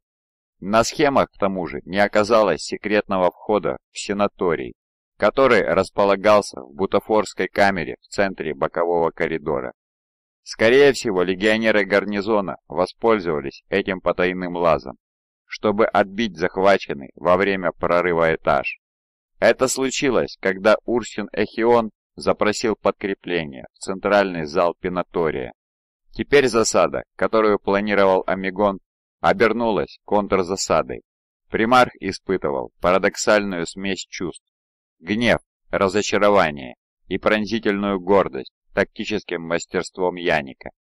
Разрывные болты кромсали стены и пол возле Амигона и Ксалмагунди. Силы скитариев заполнили центральный зал и принялись, стреляя на удачу, прокладывать себе путь вдоль главного коридора. Примарху еще раз пришлось оттащить хрупкую Ксалмагунди в безопасное место, прикрывая ее своим бронированным телом. «Перезаряжаюсь!» — крикнул Валион. Не пытаясь прикрыть его стрельбой из болт-пистолета, Амигон отцепил с пояса пару гранат и швырнул их вдоль бокового прохода. От спаренного взрыва содрогнулся коридор. Двоих легионеров из гарнизона убило на месте. Другие вылетели из укрытия и попали под прицел Валиона. Так дальше продолжаться не могло. Космодесантники приближались к перекрестку с одной стороны, стражники с Китарии с другой. Отойти можно было только в открытую камеру к Салмагунде. Но Амигон не собирался возвращаться во тьму, выпивающую душу. Он сражался с собственным легионом. Это предполагало сюрпризы. И все же наступил подходящий момент, чтобы вернуть себе преимущество. «К Салмагунде!» — крикнул он, ведя шквальный болтерный огонь. Время побренчать камерами. Псайкер поняла. Опустив голову и закрыв большие черные глаза, Ксалмагунди сосредоточилась на ближайшем окружении. Еще один звук добавился к грохоту оружейного огня. Это был стон согнутого металла. Замки срывало, петли скручивало. Массивная дверь, ближней к перекрестку камеры, вырвалась из укрепленной дверной коробки и неудержимо, с сокрушительной силой протаранила стену напротив. За нею последовали и другие. Это выглядело так, будто во всех камерах по порядку нарастало давление, а потом достигало взрывного пика и отрывало окружающие пси-пластины от стен. Пока это нарастающее давление, срывая двери по обе стороны коридора, расчищало путь вдоль всего пенитория, силы атакующих остановились. Те самые дверные проемы, которые давали им столь необходимое прикрытие, теперь превратились в смертельные ловушки. Гарнизонных легионеров давило о стены и сбивало с ног. Те, кому повезло очутиться между проемами, оказались застигнуты на открытом месте. Такие попадали под огонь Валиона и Амигона. Как только последняя дверь камеры врезалась в стену, примарх, воин и псайкер принялись прокладывать путь сквозь эту бойню, перешагивая через бронированные тела павших легионеров. Обнаружив переживших телекинетическую атаку собратьев, Валион и Примарх обезоруживали и смертоносно точными ударами загоняли клинки в раскосые шлемы. В камерах зашевелились узники. Наведенное на этих страдальцев безумие эхом отозвалось во тьме изломанных проемов. Ведьмовские отродья шипели, кудахтали, рычали и разговаривали с собой на темных наречиях. Они понимали, что свободны, но явно не доверяли внезапной свободе. Амигон видел чахлых мужчин, женщин и мутантов, которые появлялись из безопасного полумрака. Нырнув в единственную камеру, дверь которой оказалась открыта, а не сорвана, он едва не растоптал девочку с гротесно большим черепом и мутными глазами. «Пошли!» поторопила к Салмагунде примарха. Сначала Амигон решил, что под воздействием материнского инстинкта или чувства солидарности с мутантами она собирается обнять ребенка. Но вместо этого к Салмагунде отшвырнула девочку, захлопнула дверь камеры и прижалась спиной к иссушающему черному металлу. Валион активировал подсветку брони и двинулся к огороженной решетчатой лестнице, которая тянулась вдоль потолка и пола поддельной камеры. Примарх раздраженно покачал головой. Шахта, казалось, пронизывала все этажи базы мрак, но не была частью оригинального плана. Зная мы это, проникновение оказалось бы куда более простым, подумал он. Как только Валион направил свой болтер в сторону лестницы и начал подъем, за дверью камеры тут же раздались выстрелы. Очевидно, скитарии добрались до покинутого перекрестка и открыли огонь по повылезшим ведьмовским отродьям. Однако звуки, издаваемые оружием техностражей, вскоре сменились душераздирающим визгом извращенных псайкеров, которые обрушили на атакующих всю свою ярость и разнообразные способности. Амигон и представить не мог, что там творили ведьмовские отродья. Их ужасная месть могла принять самые причудливые формы. Что-то особо мерзкое происходило прямо за дверью. Кажется, там ломали кости или вытягивали их. «Сержант, ты все еще на связи?» – спросил Амигон по Воксу, когда он и Ксалмагунди начали карабкаться вслед за Валионом. Сетебас ответил, и его трескучий голос пробился сквозь шум боя. «Вас слышу!» «Состояние, сержант!» «Еще один легионер потерян, мой повелитель», — сообщил в ответ Сетебас. Яник исказил схему. Не было никаких жилых помещений, только засада легиона. Голос сержанта снова заглох. Крайт использовал последнюю мелтобомбу, чтобы прорваться сквозь стены в Ассимулариум и Трапезную. На этот этаж стекаются войска гарнизона. Яник бросает против нас все, что у него есть. Амигон мрачно выслушал ответ сержанта. Арвас Яник более чем подходил на роль защитника базы. Командующий скрыл информацию даже от ближайших союзников, чтобы предотвратить любые попытки захвата объекта мрак. Он создал фиктивные тактические объекты, организовал противодействие окружения и засады. Тем не менее, игра еще не закончилась. Примарх не бросил на стол свою козырную карту. «Сержант!» – произнес Амигон по Воксу. «Я понимаю твои затруднения. Не сомневайся, у нас своих хватает. Твоя задача любым способом вывести отделение и вернуться к лифтовой шахте. Пробивайся на поверхность, мы встретимся там. Командующий Яник может бросить против нас все наличные силы, но мы ведь только начали. Да, мой повелитель, холодно и уверенно ответил Ситебас. И еще, сержант, Скажи Крайту, что пора активировать детонаторы. Вас понял. По крайней мере, Крайт останется доволен. Пока они поднимались, Амигон ощущал череду пробегающих по ступеням лестницы глубоких вибраций. За пределами шахты раздавались звуки разрушений, охвативших всю базу. Космодесантники вели отчаянный огонь, превратив мрак в гигантский тактический полигон. Альфа-легионеры против альфа-легионеров. В коридорах и на лестницах эхом отдавались шаги Гена 760. Солдаты занимались усилением караулов и созданием опорных точек. Ведьмовские отродья выбрались из камер и прорывались через пинаторий, используя всю мощь своих разрушительных способностей против надзирателей механику. Дорожала даже надстройка объекта. Примарх переключил частоту Вокса «Эмпермастер!» «Это вы, мой повелитель, слава амнисии!» — отозвался по связи Авгурам. «Вы должны помочь, меня обнаружили». «Не только тебя, Валькерн», — холодно ответил Амигон. «7.60 пытаются проникнуть в узел безопасности», — лепетал Авгурам. «Ты сам-то в безопасности?» «Пока что. Судя по пиктам, они несут сюда оборудование для резки переборки».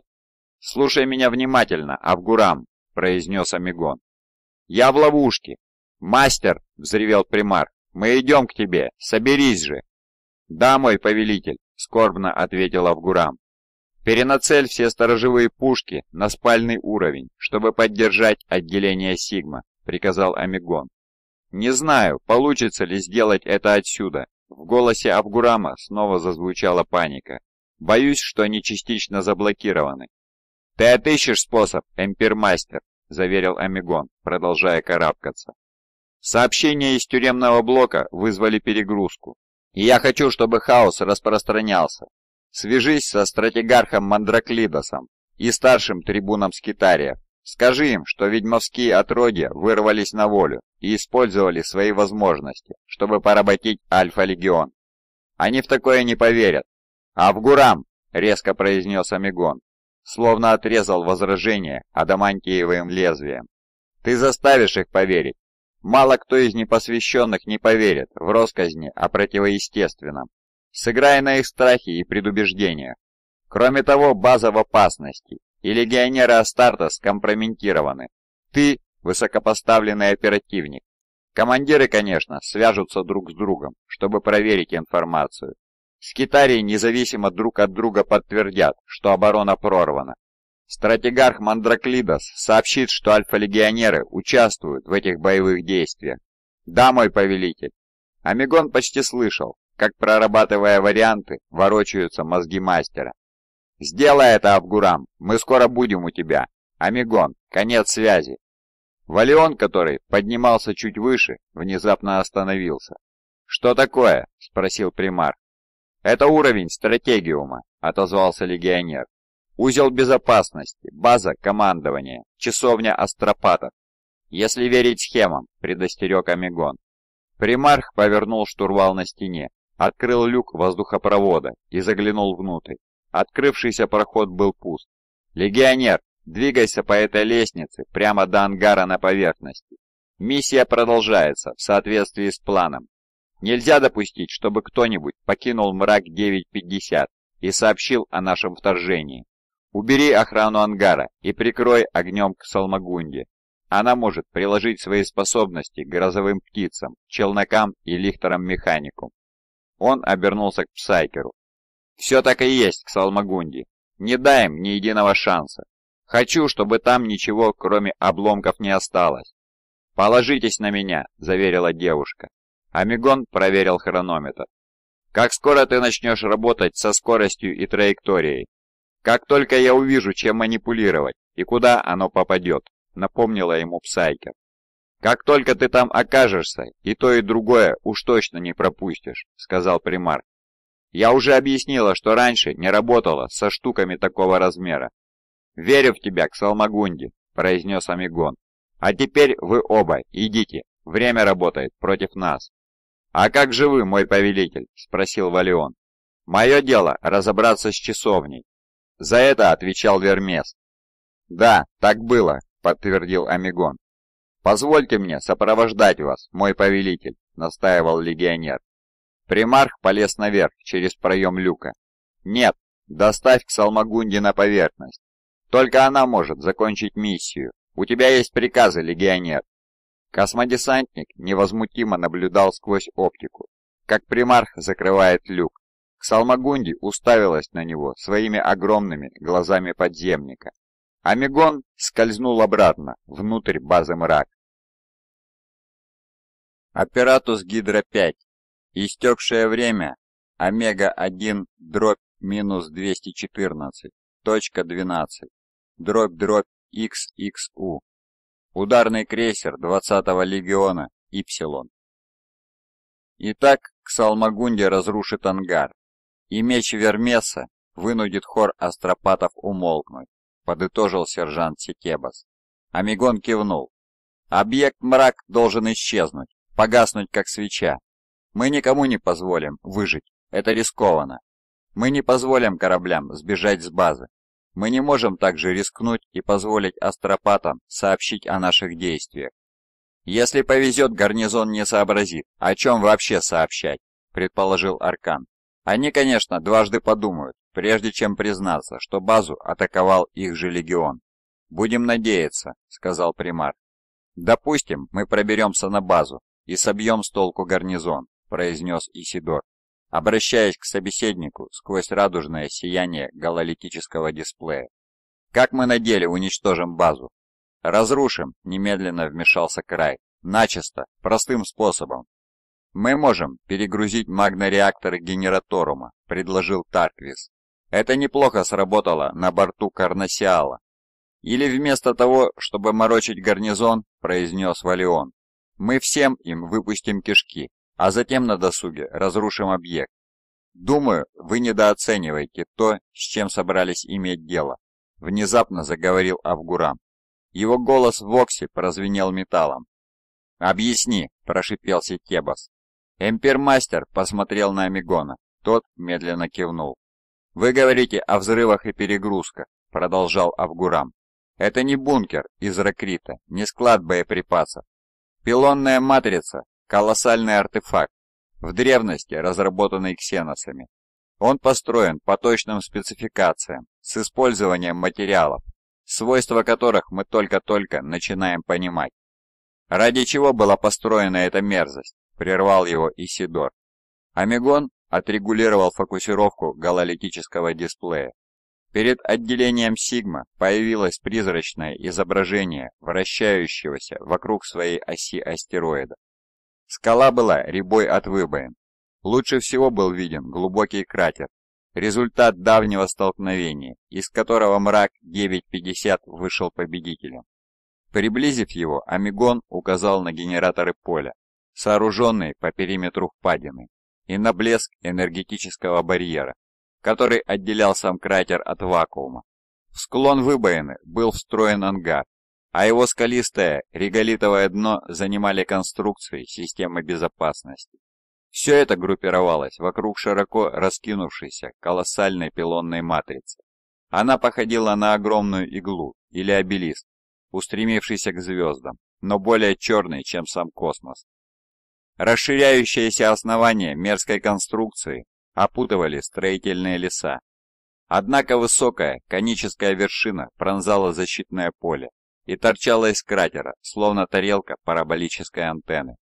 Вообразите на миг, что вы разбираетесь в метеорологии империй, продолжил эмпирмастер. Мы считаем варп альтернативой нашей реальности. Эта альтернатива состоит из грубой энергии. Неизмеримый океан, мощный, непредсказуемый, смертельно опасный. Авгурам окинул взглядом ряд одинаковых лиц. Однако он, безусловно, полезен.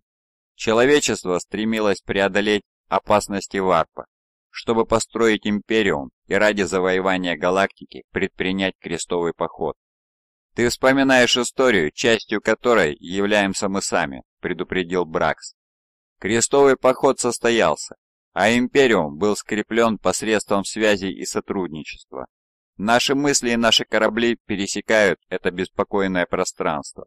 Когда штормы нарушают спокойствие варпа, тогда и метеорология становится нестабильной разрушает и препятствует. Ближе к делу. В рамках обычной метеорологической системы, продолжил Авгурам, атмосферной погодной системы, есть области высокого и низкого давления. Штормы формируются как реакция на экстремальный перепад давления между этими областями. И, поторопил Чермиан, не разделяя растущее волнение мастера, и метеорология варпа не особо от этого отличается. Пилонная матрица непостижимым образом создает в варпе зону беспрецедентного спокойствия. Диапазон астропатической связи расширяется. Но это создает штормовые фронты и метеорологические волнения в других регионах, заметил Исидор. Точно, почти завопил Авгурам. Непредумышленный побочный эффект ксенотехнологии. Она куда более полезна, чем достояние других легионов. Эффект, который Альфарий использовал для достижения целей магистра войны, сообщил Амигон собранию. После обнаружения этой технологии в системе Октис, ее зарядили нематериальной энергией псайкеров-рабов, взятых из запасов механику. В результате нам удалось подавить связь в пограничных областях Дракони, Тиамат, Чардакс и в проливе Скелес-Тривелья. Мы не только заперли легион белых шрамов в системе Чондакс, как Альфарий и обещал Хорусу. Мы также оставили Джагатай хана в неведении. Он слеп и не видит жестокости гражданской войны. Он глух к приказам Дорна вернуться. Если великого хана с его шрамами не окажется на стороне императора, победа магистра войны будет обеспечена. Ропот пробежал по собравшейся группе. Амигон выжидал мгновение, прежде чем продолжить. Лоялисты также не получили подкреплений от шипов Риньо, Дев-щитоносец, Парфинарий 17-го вскармливания и урузанских мобилинов. 72 тысячи бойцов застряли в драконе. Тета-Йота, Легио Кибернетика и Легион Титанов Легио Гигантис также утрачены. Они считаются уничтоженными на пути через Скелес Тривелья «Воистину мощное оружие, мой повелитель», — подтвердил Исидор. «Теперь вы видите, Нельзя допустить, чтобы эта технология попала в руки врага, твердо сказал Амигон.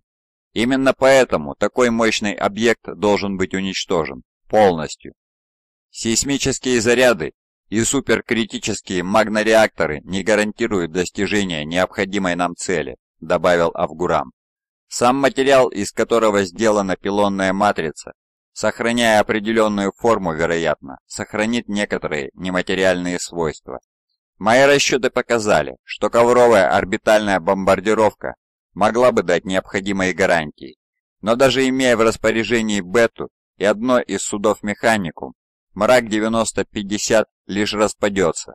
Доказательства существования пилонной матрицы разлетятся по всей системе и впоследствии могут быть собраны. «Должен быть способ», — сказал Сикебас, и несколько легионеров отделения Сигма согласно кивнули. «Есть», — ответил их примарх. «Мы должны разрушить весь астероид». Исидор нахмурился. «Я думал, мы сошлись на том, что это неблагоразумно. Демиурги перемещают астероиды между конвейерными станциями за счет их инерционного движения», — объяснил Амигон.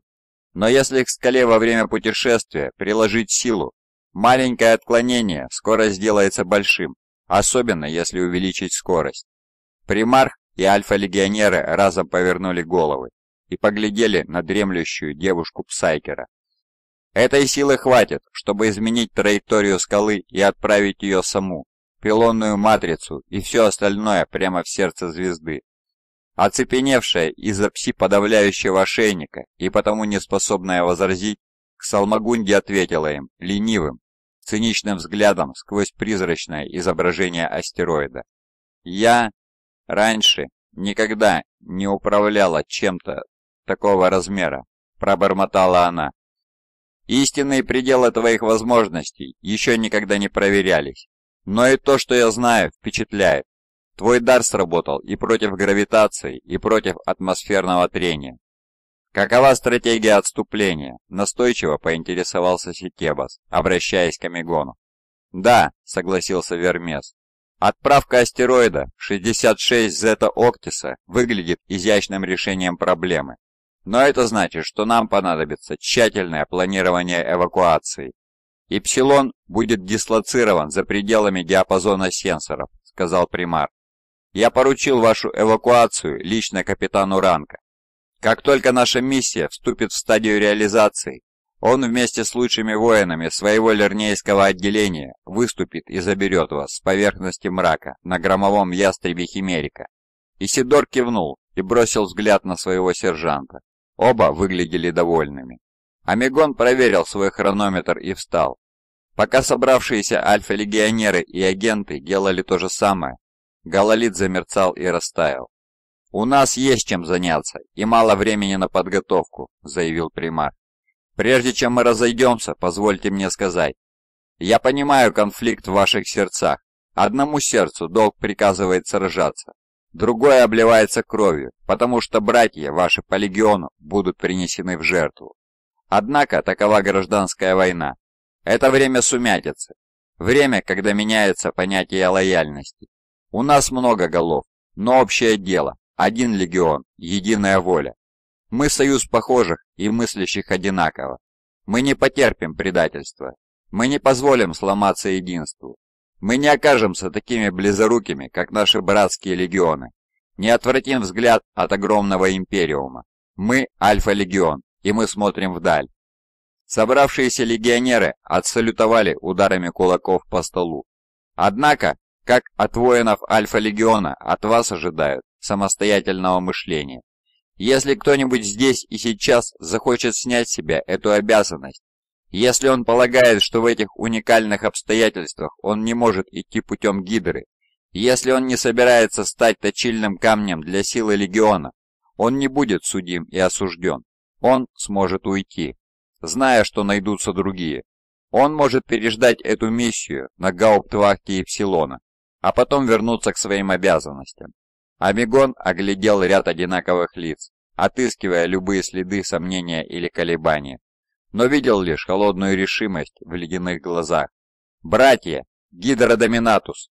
«Гидродоминатус!» — отозвался Сикебас. Ему вторили другие воины отделения. Тогда пускай наши враги видят сорвавшийся с ветки плод, теплый и манящий в лучах полуденного солнца, произнес примарх. Мы же будем змеем, притаившимся внизу, готовым ужалить. Аппаратус Гидро-5. Истекшее время Омега Z дробь 005.17 дробь дробь ТПА. Объект мрак. Амигон, как призрак, шел сквозь разверзнувшийся ад. Держа на изготовку болтер и сжимая крючковатый боевой нож, он проскользнул незамеченным.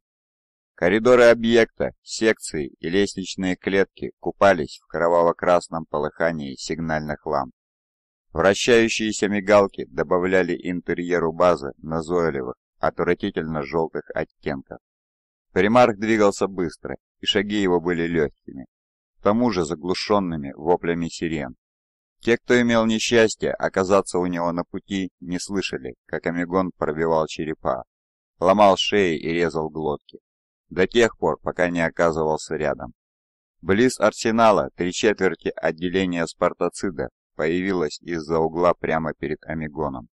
Они прижимали к груди свои лазерные карабины и мчались так, что плащи развивались за плечами. Субалтрикс Гена прикладывал вокс-устройство к украшенному плюмажом шлему, пытаясь прояснить обстановку, но оружейный огонь забивал все каналы. Заметив Амигона в его легионерской броне, группа приостановилась, воины навели на примарха стволы. Они уже получили невероятные доклады о лазутчиках Альфа-Легиона, которые скомпрометировали базу, и о безумных, порабощенных варпом гарнизонных легионерах на тюремном этаже. Примарх не медлил.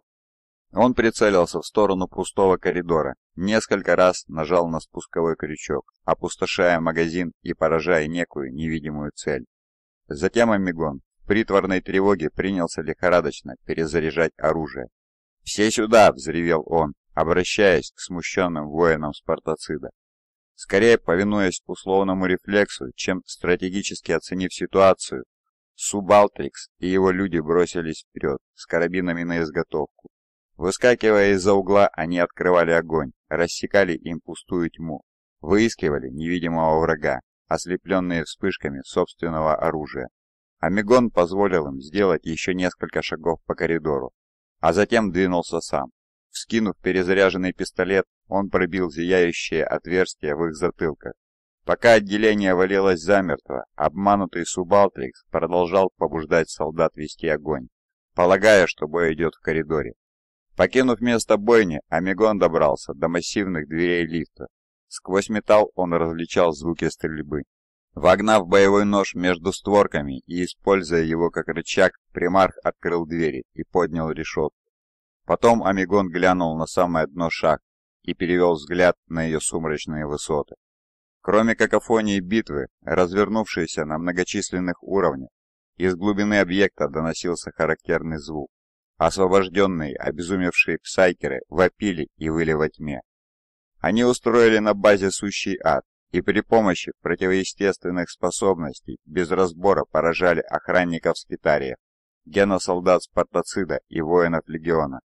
Внезапный всполох псайкерского огня несколькими этажами ниже разорвал двери лифта, осветил темноту и впечатал гарнизонного легионера в противоположную стену шахт. Амигон наблюдал, как тот падает, корчась в радужном пламени, прежде чем рухнуть на крышу подъемной клети. Примарх ощутил вибрацию сквозь перчатки. Придвинувшись к стене коридора, он прислонил свою закрытую шлемом голову к камню. Череда грохочущих раскатов доносилась со стороны надстройки базы. Время было на исходе. Вставив в болт пистолет последнюю обойму, примарх снова двинулся сквозь оглушительную тьму лабиринта. Часовня оказалась маленьким помещением, отделенным от остальной части оперативного этажа переборками и чередой темных арочных проходов. Каждый из них был помечен символом Astra Telepatica. Одинокое око взирало на скользящего мимо Амигона. Раздвинув дулом пистолета зеленые бархатные драпировки, примарх обнаружил, что астропаты находятся в святилище. Раскиданные карта Тара лежали на гладком полу комнаты. Люди стояли перед Амигоном на коленях. Все мужчины, все в капюшонах, все испуганные. Они, умоляюще, смотрели на него жуткими, пустыми глазницами. Сначала это смутило Амигона. Но потом, бросив взгляд вниз на разбросанные карты, он понял. Астропаты предвидели происходящее. Они склонили головы и откинули капюшоны. Амигон был не из тех, кто без нужды продляет чужие страдания. Он принялся за неизбежное, приставляя пистолет к затылку каждого астропата. Казнил их по очереди, быстро и эффективно. Уже повернувшись, чтобы раздвинуть забрызганный кровью бархат портьер, примарх внезапно остановился. Астропатов было трое, а нефов в часовне четыре. Одну из ниш прикрывали драпировки.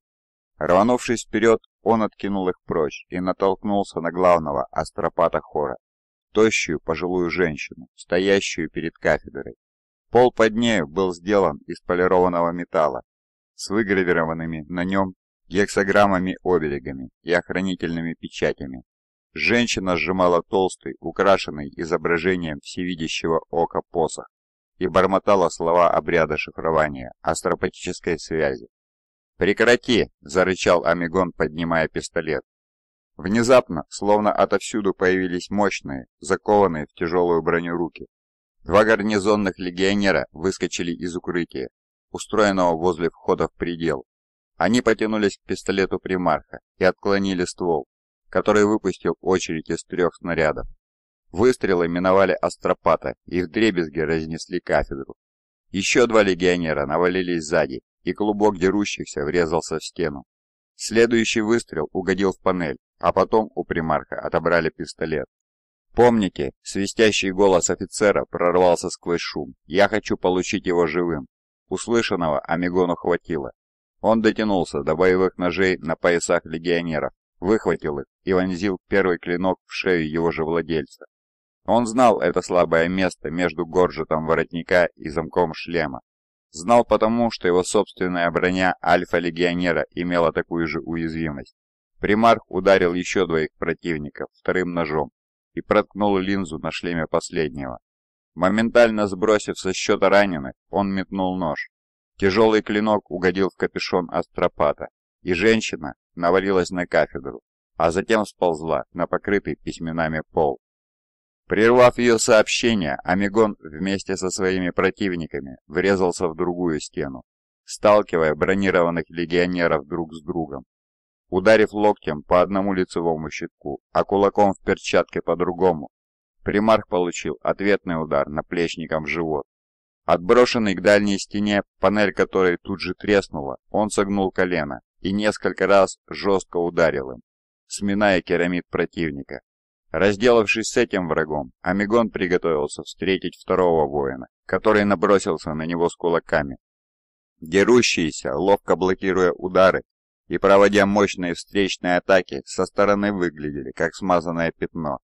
Легионер сделал выпад, и Амигон уклонился. Позволив противнику двигаться по инерции, примар обхватил его ранец.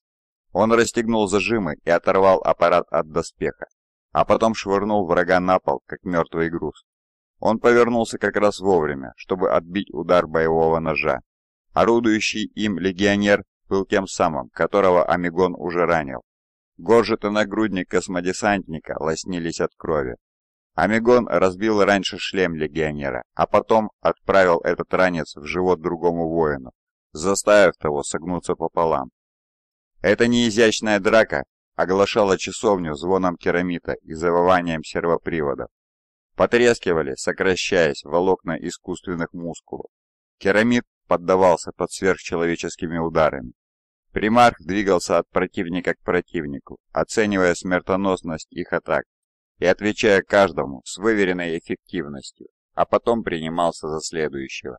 Снова мелькнул окровавленный нож. Амигон вцепился в запястье владельца, пытаясь нейтрализовать оружие.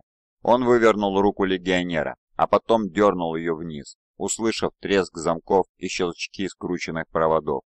Одним плавным движением примарк заломил руку легионера за спину, а потом протаранил его головой об лицовку стены. Это сопровождалось хрустом позвоночника. Боевой нож, извлеченный из сломанной руки космодесантника, Амигон оставил себе. Сжимая оружие как кинжал, он описал клинком сверкающую дугу и вонзил его полуослепленному воину в оптику уцелевшей глазницы и дальше в мозг. Раздался мучительный скрип керамита. Примарх высвободил оружие и позволил легионеру упасть на пол. Только один из четверых противников все еще оставался на ногах. Легионер сделал выпад бронированным кулаком и выбил скользкий от крови клинок из руки примарха. Амигон толкнул противника к стене и принялся колотить его керамитовыми костяшками перчатки. Один стремительный удар следовал за другим. Лицевой щиток хрустнул, оптика треснула. Закованные в перчатки руки легионера вцепились в Амигона. Но тот оттолкнул их и схватил ошеломленного воина за виски сломанного шлема. Потом нажал на замки и сорвал этот шлем с головы космодесантника. Примарх смотрел на медно-красную кожу чужого лица, на суровые голубые глаза, так похожие на его собственные. Однако это сходство не остановило его. Удерживая шлем за кабели, он бил гребнем и крепежными болтами прямо в незащищенное лицо легионера, пока тот не рухнул на металлический пол. С усилием выпрямившись, примарх встал спиной к занавешенному дверному проему. «Командующий Яник, я полагаю», – пробормотал он, пытаясь отдышаться. Потом обернулся, все еще держа в руках окровавленный шлем. Я должен похвалить тебя за...» Болтер я не корявкнул. Амигон ощутил удар масс реактивных снарядов о собственную броню и то, как они взорвались внутри его тела. Страдание опалило его горячим белым огнем, хотя сверхчеловеческое тело боролось и сопротивлялось этой муке. У Амигона подкосились ноги. Уронив сломанный шлем легионера, он оступился и с грохотом рухнул, ударившись спиной о стену. Ранец скользнул по панели. Примарх сполз на металлический пол, и его кровь стала заливать выгравированные гексограммы. Примарх смотрел на стоящего напротив в обрамлении зеленых бархатных портьер Арваса Яника. Лицо командующего напряглось, сделалось маской суровой решимости. Его шлем оставался пристегнутым к поясу при помощи магнитного замка. «Ты что-то сказал?» – произнес командующий, рискнув податься вперед. Амигон дотянулся до брони и нащупал три широких рваных дыры в нижней части керасы. Он обследовал каждое отверстие кончиком пальца и проверил местоположение каждой раны. Сбоку от пупка, выше бедра. Примар кивнул просто так, для себя. Все выстрелы миновали позвоночник. Он знал, что его организм сейчас задействует разные органы, железы и запускает нужные процессы, стремясь залечить раны. Упершись руками и ботинками о пол, Амигон вдавил свой ранец чуть сильнее в стену. Сквозь стену надстройки он ощущал характерный грохот. Нечто большее, чем далекое землетрясение. «Ты что-то сказал?» — повторил Яник. «Предупредительные выстрелы?» — спросил Амигон. Командующий кивнул. Амигон закашлялся. Кровь попала на лицевой щиток. «Я похвалил твои первоклассные меры безопасности и противодействия на этой базе. «Не надо снисходительности», — предупредил, огрызаясь Яник. «Были бы они первоклассными, ты бы сюда не залез». «Понимаю твою точку зрения», — ответил ему Амигон. «И все же засады здесь и на якобы жилом уровне были самыми замечательными. Ты знал, что мы попытаемся заставить часовню замолчать. Это была приоритетная цель. И ты нарисовал спальни на схемах. Очень умно». «Хватит уже», — оборвал Арвас Яник. «Снимай свой шлем ты назовешься сам или расскажешь о своих планах на объекте. Расскажешь, откуда узнал, где он находится. Признаешься, из какого ты на самом деле легиона. Скажешь, кто твой командир, тот глупец, что отправил тебя на верную смерть. Похоже, ты так уверен в этом, командующий, пробормотал Амигон, не без мрачного юмора. Теперь или позже. Разница во времени ничего не значит, заверил его Яник. Мы славимся терпением и методами убеждения. Пока мои легионеры будут прочесывать базу и собирать улики, начальство начнет охоту за твоими покровителями, поскольку ты наверняка тут наследил. Я тем временем позабочусь, чтобы мой апотекарий разделал тебя на куски. Начнет он с ног, потом оттяпает один орган за другим, пока ты не выдашь добровольно те сведения, которые я хочу получить. Едва ли ты поверишь, что я офицер Альфа-легиона, «А база попала под инспекцию?» — спросил Амигон командующего. «Нет», — с усмешкой отозвался Яник. «А что это инсценировка, чтобы проверить, годен ли ты к повышению?» Нет, сэр, не думаю. Потому что уверен, ты знаешь, что у базы вермильоновый уровень доступа. Приказы к нам приходят непосредственно от высшего командования, от самого примарха. Точно такой же уровень был бы у инсценировки или инспекции, на которую ты сослался. И что это за инспекция, в которой легионеры проливают кровь своих братьев? Очень серьезная, командующий, отозвался Амигон, втискивая свой ранец между кафедрой и стеной.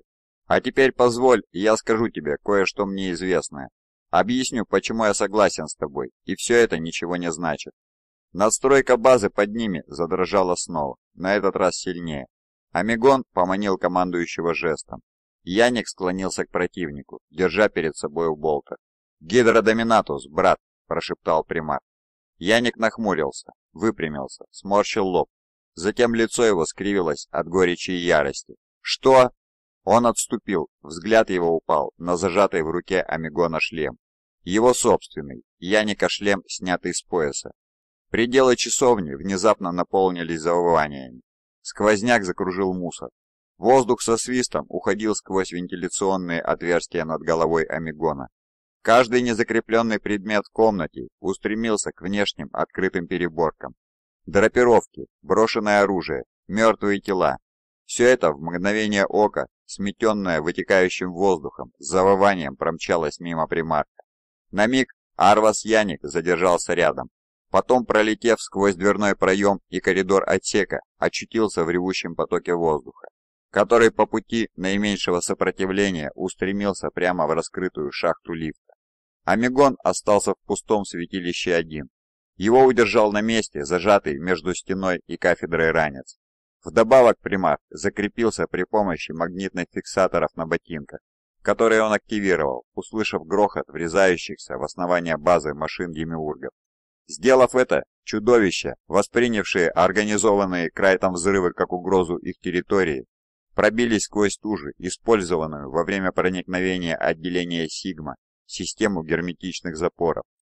Проникновение добывающих машин оказалось не таким аккуратным, как проникновение космодесантников. Когда автоматы пробили себе путь, произошла разгерметизация. Давление упало, искусственная атмосфера ушла в пустоту. Внезапно наступила тишина. Как и было предсказано, кагитаторы, управлявшие средой, заблокировали поврежденные нижние уровни базы. Все закончилось мгновенно. Деактивировав магнитные фиксаторы, Амигон встал и направился к выходу, придерживая рукой раненый живот. Примарк двинулся по коридорам оперативного уровня. Проковыляв через командный отсек, он увидел, что в помещениях не было ни офицеров Альфа-легиона, ни стратегарха Гена 760, Лишь сервиторы, связанные с тронами проводами, остались на месте. Они так и сидели, желтоглазые, лишенные век, со сморщенными, полуистлевшими губами. Большой рунический экран вспыхнул, отобразив ряд уровней, по большей части мигающих кроваво-красными значками. Еще немного времени, и горнорудные машины демиургов пробьются сквозь аварийные переборки и проложат себе путь на верхние этажи. Шагая мимо пунктов связи и ауспик-станции дальнего действия, Амигон наткнулся на защитную переборку, в толстом металле которой кто-то прожег дыру. Он мгновенно понял узел безопасности. Зажимая раны, примарх рискнул на миг заглянуть в проделанное плазмой отверстие. Темное помещение внутри освещали только пикт-экраны. Между рядами этих экранов на вращающемся карданном подвесе Амигон обнаружил трон наблюдателя с пристегнутым к нему жирным трупом Валькерна Авгурама. Эмпермастера и впрямь обнаружили солдаты Спартацида и изрешетили лазерным огнем. Если верить экранам, состояние базы было критическим. Амигон видел, как альфа-легионеры ведут перестрелку со сторожами-скитариями и с объединенным контингентом Спартацида. Полили лазерные карабины, огнеметы и болтеры. Отвратительно мертвенным светом вспыхивали экраны, Ведьмовские отродья во всем своем презренном разнообразии атаковали жертв, рвали их на части при помощи сверхъестественной силы или извергали вар пламя вместе с росчерками зеленых молний. Одна из ведьм, долговязое, искривленное существо, распахнула рот как змея и завизжала так, что у оказавшихся поблизости солдат и стражей полопались кровеносные сосуды в мозгу. Дела гарнизонных легионеров на нижних уровнях за счет отработанной тактики шли получше. но появление прорвавшихся снизу огромных бронзовых машин ксеносов создавало большие проблемы. Выпуклые, похожие на пауков чудовища, кромсали доспехи альфа-легионеров при помощи мощных лазеров. В этой резне, тем не менее, присутствовала жуткая красота. Восхитительный хаос воистину олицетворял доктрину Гидры. Многочисленные головы били, хоть и не разом, но согласованно, и сеяли опустошение. Оставив за спиной труп эмпермастера, Амигон скользнул к узлу безопасности и наткнулся на смежный коридор. Световые полосы над головой внезапно зашипели и потухли. Однако темноту прорезали вспышки мощного лучевого резака, который прожигал металлический пол. Примарх помедлил, чтобы разминуться с парой шипящих лучей, а потом поднырнул под искореженную переборку. Обогнув разгромленный скрипторий и миновав мучительную череду поворотов, Амигон обнаружил проход к шахте лифта. Двери лифта оказались открытыми, хотя клеть канула в глубины вакуума. Кое-как добравшись до служебной лестницы, примарх начал карабкаться на поверхность. Каждая ступенька отзывалась в теле новой и уникальной в своем роде мукой. В живот словно бы забивали молотом обжигающий горячий кол. Рука лоснилась от крови, которая сочилась из раны и капала в раскрытый зев шахты. Примарх был уже почти наверху, когда понял, что он тут не единственный. Во мраке грохотали эхом шаги многоногого колоса. Глянув вниз, Амигон заметил медный блеск сеномашины, которая беспрепятственно продвигалась вверх по отвесной поверхности. Острые лапы вонзались в металл стен и давали монстру возможность непринужденно двигаться по вертикальной поверхности. Лестница сдвинулась в опорах, а затем принялась раскачиваться туда-сюда, Мерзкая машина тем временем жевала. Ее вращающаяся, шипастая глотка растирала металл и ракрит в порошок. Когда лестница выгнулась и полностью отошла от стены, Амигон совершил отчаянный прыжок через шахту к проему ангарного этажа. Одной рукой ему удалось дотянуться до выступа. Примарх вцепился в него, будто клещами, игнорируя боль в животе. Потом он, ухватившись второй рукой, подтянулся, но обнаружил, что двери все еще заперты. Пожираемая воронковидной пастью ксеномашины лестница рассекала темноту и билась о стены. Примарх разжал одну руку, ударил в двери, а потом снова опустил ее. Амигон внимательно смотрел, как к его болтающимся в пустоте ногам подбирается паук Сеносов. Наполненная металлическими зубами, крутящаяся пасть механизма ревела, собираясь пожрать добычу живьем. Искры внезапно озарили мрак, Болтерные снаряды попали в толстую медную броню машины. Гарнорудный автомат продолжал невозможно работать. Зияющая пасть перемалывала добычу. И тогда две связки гранат Легионас Астартес упали вниз и исчезли в утробе твари. Несколько пар бронированных рук вцепились в наплечник примарха и с усилием вытащили его на свет. Ударную волну взорвавшихся в медном брюхе монстра гранат отсекли надежные двери лифтовой шахты. Когда Мегона вытаскивали наверх, он видел лишь яркие пятна. Автосенсоры брони на миг оказались перегружены. Тьма шахты сменилась ослепительно светлым пространством на поверхности астероида. И пока сенсоры выполняли калибровку, Амигон мог слышать рядом с собой голоса легионеров, которые звали сержанта Сикебаса. Оружейный огонь все еще грохотал неподалеку. «Он ранен!» — донесся безошибочно узнаваемый голос Исидора. «Все хорошо!» — проворчал Амигон. «Доложи ситуацию». Появился Гаран Сикебас и помог ему встать на ноги. «Мой повелитель, однако...» «Нет времени», — предупредил примарх. Ангарная палуба являла собой зрелище телекинетического разрушения. Амигон сумел разглядеть сломанный громовой ястреб и груду мусора, которая, возможно, была когда-то звеном лихтеров механикум, челноками и транспортами имперской армии. Ксалмагунди поработала основательно, как и было приказано. На палубе валялись тела, главным образом часовых спартацида, отвечающих за охрану ангара. «Ложитесь, сэр», — сказал Исидор, когда сгусток лазерного огня опалил воздух над их головами. Упав и болезненно скорчившись за остатками станины двигателя, примарх рассматривал сцену. Ангар выходил на кратер, который бойцы Сигма видели на гололитическом изображении. В самом центре, словно обвиняющий перст, торчал черный шпиль пилонной матрицы. «Мы потеряли Зантина», — сообщил Секебос, указывая на неподвижное, закованное в броню тело. С одной стороны шлема у легионера находилось аккуратное отверстие от болта. У Яника, по крайней мере, два отделения легионеров-снайперов. Они прячутся на склоне кратера. Снайперских позиций тоже не оказалось на плане. «Что с Ксалмагунди?» – спросил Амигон.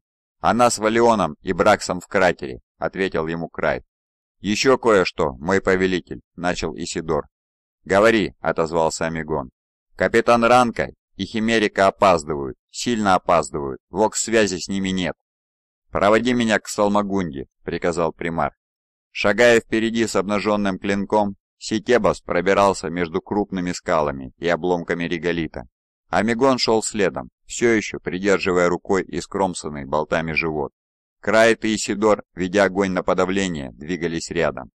Наверху Амигон заметил то, из-за чего его автосенсоры с трудом настраивались за пределами шахты лифта. Здесь был отнюдь не вакуум. Вверху, заполняя неодолимым золотым сиянием небесный свод, яростно пылала корона звезды Октис. Генераторы фазового поля были единственным щитом между отделением Сигма и интенсивной радиацией звезды. Еще два сгустка лазерного огня пролетели мимо Амигона, и он тихо поблагодарил слепящий блеск Октиса. Не будь его, снайперы Яника без особых сложностей сняли бы их всех. Спустившись во впадину, Амигон и легионеры нашли к Салмагунди. Валион сидел рядом с Псайкером, целясь из болтера поверх ее плеча. Бракс тем временем недовольно ворчал под нос. Он сидел за валуном, который слишком часто привлекал к себе внимание легионеров-снайперов. К Салмагунди стояла на коленях на реголите, погрузив пальцы глубоко в песок и пыль. Она получила обратно свои тонированные очки и теперь могла смотреть сквозь них на ослепительные небеса. Бледная кожа блестела от пота, выступившего от усилий изменить траекторию астероида и отправить мрак 950 прямо в объятия 66 Зета Октиса. Выглядел Апсайкер плохо. Черные слезы стекали по щекам. «Валион, каков прогноз?» — спросил Амигон, скользнув на дно осажденной снайперами впадины. «И траектория и скорость вполне подходящие, мой повелитель. — ответил ему легионер. «Мрак 950 вместе с пилонной матрицей идет прямо в звезду». «Амигон!» — прохрипел Аксал Магунди. «Это ты?» Примарх пересек впадину и опустился на колени рядом с Псайкером. «Да, это я». «Вот проклятие, не вижу», — сказала подземница. Поток черных слез продолжал струиться по ее бледным, будто фарфоровым щекам. «Я ослепла». «Ты справилась, Ксалмагунди», — отозвался примарх. «Очень хорошо. Твои люди меня восстановят?» — спросил Апсайкер. «Они могут вернуть мне глаза». Амигон протянул Сетебасу руку. Сержант на миг впился в примарха взглядом, а потом протянул ему болт-пистолет. «Они сумеют восстановить тебя к Салмагунде», — пообещал Амигон. Эхо выстрела прокатилось по кратеру. Хрупкое тело девушки упало на песок и щебень. Уцелевшие воины отделения Сигма уставились на Амигона. «Мой повелитель, разрешите высказаться свободно», — попросил Ситебас. Амигон устроился во впадине. Его бронированные колени глубоко погрузились в пыль. «Разрешаю, сержант». «Мне кажется, это расточительство», — сказал ему Ситебас. «Возможно, она бы еще пригодилась легиону». «Мне кажется, это сентиментальность, которая впрямь расточительна», — возразил ему Амигон. «Прежде у меня сложилось мнение, что ради своего легиона ты сделаешь почти все, Почти всем пожертвуешь ради победы. Мое поведение во время этой миссии нельзя истолковать иначе, согласился сержант. Однако не было никакой нужды казнить девочку. Она была расходным материалом, сержант, возразил Амигон. Как и все мы, проходные пешки в большой игре. «Где Химерика?» – осторожно спросил Исидор. «Где капитан Ранка?» После паузы Амигон расстегнул застежки шлема и бросил его в пыль. Перед глазами Ситебаса и всех легионеров отделения Сигма предстал Шидранка собственной персоной. Легионеры недоверчиво уставились на капитана. «Большая игра», — повторил Ранка. Капитан все еще чувствовал кровь своего примарха. Амигон смешал малое количество этой живительной влаги с вином, которое они вдвоем выпили на Эпсилоне. Дар примарха, его благодарность и вместе с тем много большее. Он ощутил воспоминания и познал тайны своего генетического прародителя. Первые годы, проведенные близнецами на далекой родной планете. замыслы и путь к верховной власти, парадоксальный восторг и ужас чужого видения, постепенное, в течение грядущих лет, осуществление необходимого. Ранка принял этот дар и сделал то, о чем прежде примарх просил его тысячу раз. Он занял его место. Он действовал, говорил и думал как примарх. Он был амигоном. Бракс покинул свою позицию и сполз по песку вниз, во впадину. «Что происходит?» – зарычал легионер. «От нас утаили некоторые детали миссии», — объяснил Сикебас, не отрывая пристального взгляда от Ранка. «Капитан нам сейчас объяснит». Ранка ответил Сикебусу таким же пристальным взглядом. Потом поглядел на собравшихся легионеров. «Что хочет от вас примарх?» — обратился он к воинам. «Химерика не появится, так ведь, сэр?» — спросил Исидор. Когда Ранка не ответил, легионер добавил. «Не будет никакой эвакуации на громовом ястребе. Лорд Амигон не приедет за нами».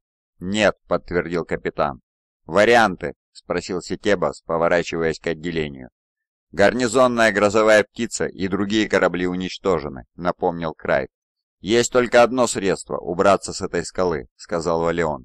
«Абордажная торпеда. Мы должны вернуться на Арголе». Сикебас заворчал. На обсуждение альтернатив времени оставалось мало. «Самый быстрый маршрут?» — спросил он. «На поверхности, не закрытой щитом, слишком горячо», — отозвался легионер. «Даже в нашей броне нужно возвращаться через базу и рудники. «Шансов немного», — заявил Бракс, проверив оставшиеся в магазине боеприпасы. «Другие варианты еще хуже», — возразил Исидор, ткнув керамитовым пальцем в яростные небеса. «Тогда решено», — сказал Сикебас, вставая. «У вас не получится», — возразил Ранка. «Нет даже десятой доли необходимого на возвращение времени. Это если не учитывать боевые действия». «Хочешь, чтобы мы просто сидели вот тут на скале и сдохли?» — фыркнул в ответ Сикебас. «Я ничего от вас не хочу», — честно ответил Ранка и снова повторил. «Так что от вас хочет ваш примарх?» Сикебас и легионеры переглянулись. Сержант кивнул. «Все». Эпсилон. Аппаратус Гидро-5. Истекшее время Омега-1, дробь 138, точка 11, дробь дробь XXB. Боевая боржа 20-го легиона Бета. На мостике Беты царила тишина. Офицеры и слуги делали свое дело спокойно и профессионально. По внешним признакам трудно было догадаться, что боевая боржа Альфа-Легиона уже начала массированную орбитальную бомбардировку, и покрытый кратерами горный хребет на планете скоро превратится в ровное место. Альфарий в церемониальной броне стоял на краю мостика, пристально глядя сквозь иллюминатор на развернувшийся апокалипсис. Сельскохозяйственная луна Парабеллус представляла собой обычный планетоид, красный пылающий шар, покрытый темными кругами плодородных гор зиккуратов.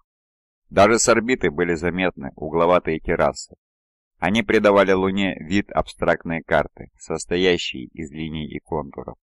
Примарк проследил, как самое большое из черных пятен исчезает во вспышке первого разрушительного взрыва. Внизу на поверхности рушились горы, и фермерские общины гибли в небесном огне Армагеддона. На другой стороне командной палубы, облаченный в точно такую же броню, примарх-близнец Амигон оценивал, как растет, надвигаясь, армада кораблей Легиона, ведомых массивной бетой. «Тебя что-то беспокоит, брат?» — окликнул Альфарий через палубу. «Нет», — ответил Амигон. «Это был не вопрос». Амигон повернулся и пересек мостик, заметив, что его близнец наслаждается зрелищем разрушения Луны. «Если хочешь знать, я думал о доверии».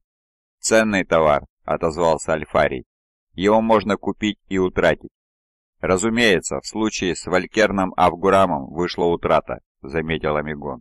В результате миллионы людей должны теперь умереть.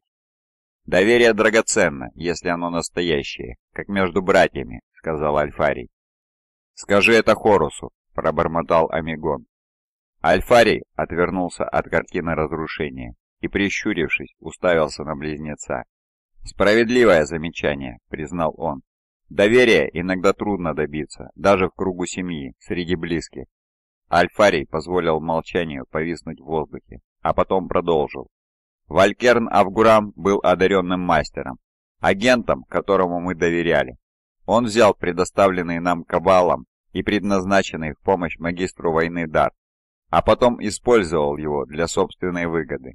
Именно поэтому незавершенная пилонная матрица на Парабеллусе должна быть разрушена, а здешние фермеры должны вместе со своими посевами умереть в ядерной зиме. А еще именно поэтому, как я полагаю, ты бросил одного из лучших эмпир-мастеров галактики в глухом переулке Сан-Сабрина, выпотрошив его, будто вора. Со стороны задней части командной палубы к ним приблизился легионер. «Мои повелители», — обратился он, — «капитан докладывает, что ударные крейсеры Лямбда и Зетта на подходе, равно как и Альфа». «Очень хорошо», — кивнул Альфарий. «По крайней мере, с этим делом покончено», — произнес Амигон. «Возможно», — ответил Альфарий. «Думаешь, объект мрак под угрозой?» «Я все еще пытаюсь найти подтверждение». «Этого маловато», — настаивал Альфарий. «Я лично допросил Абгурама». «Никакой утечки», — скинул бровь Альфарий. «Никаких покровителей, нет сообщников. Он даже не продал проект пилонной матрицы». «Кажется, Парабеллус был его личным проектом», продолжал Амигон. «Это бесполезный след. Он нас никуда не приведет. Говорю же, я сам занимался этим». Альфарий повернулся к ожидающему легионеру. «Скажи капитану, как только к нам присоединится Альфа, пусть проложит дополнительный курс на систему Чондакс». «Чондакс?» — спросил Амигон, слегка удивившись. «Хан, а что с первоначальным планом?» «Я уверен, кто-то заинтересовался мраком», — пробормотал Альфарий. Наши навигаторы говорят, что и метеорология в том районе успокаивается. Астропаты полагают, что сообщения на этот раз могут дойти. Оперативники сообщают, что экспедиционный флот Белых Шрамов почти закончил приведение к согласию, и Хан скоро будет готов к переходу через Варп. Мы не знаем. Знаем, возразил Альфарий. Может быть Малкадор или ангелы Калибана. Кто-то добрался до установки мрак. Мы должны принять это и идти дальше. Нам следует загодя просчитать шаги и разместить флот там, где он предоставит нам наибольшее преимущество. Дорн отзовет белых шрамов. Лояльность хана не пошатнулась. Если магистр войны должен преуспеть, нельзя позволить пятому легиону добраться до Терры. Ты согласен, брат? Конечно, ответил Амигон, кивая. Разве мы не всегда за... Омега, Аппаратус Гидро-5. Истекшее время Омега-1. Дробь 138.28. Дробь, дробь XXB. Боевая боржа 20-го легиона Бета. Амигон вошел в свою каюту. Как и брат, он не держал для себя величественных апартаментов, не пользовался жильем, которое подчеркивало бы его особый ранг. Спальный отсек был маленьким, по-спартански обставленным и ничем, кроме своего временного предназначения, не отличался от каюты любого другого альфа-легионера. Амигон стоял там во тьме, прижавшись церемониальным доспехом к двери и переводя дух. Всякий раз, закрывая глаза, он видел ужас грядущей неизбежности, обжигающую истину, которая открылась ему и Альфарию. Третий парадокс. Амигон потер глаза пальцами, Мозг болел от ответственности. Примарх думал о запутанной системе контактов и отношений, секретов и лжи, предательства и купленной верности. Она будто сеть раскинулась по всей галактике. Амигон видел себя в самом сердце этого хитросплетения. Он мог оказывать влияние, дергать за ниточки, но ощущал, что разрывается между нерешенными проблемами. Примарх активировал плавающее в помещении люминосферы. Оружейная была открыта. Боевая броня, неотличимая от доспехов других альфа-легионеров, покоилась на надежных кронштейнах. Тут же хранились болтер примарха, его меч и пистолет, а также шлем, который слепо таращился на Амигона пустыми линзами. Поблизости под покрывалом находился другой доспех Амигона, на первый взгляд он казался простым и незамысловатым.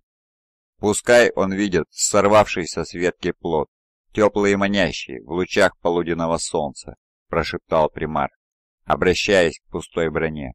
И пусть я буду змеем, притаившимся внизу, готовым ужалить.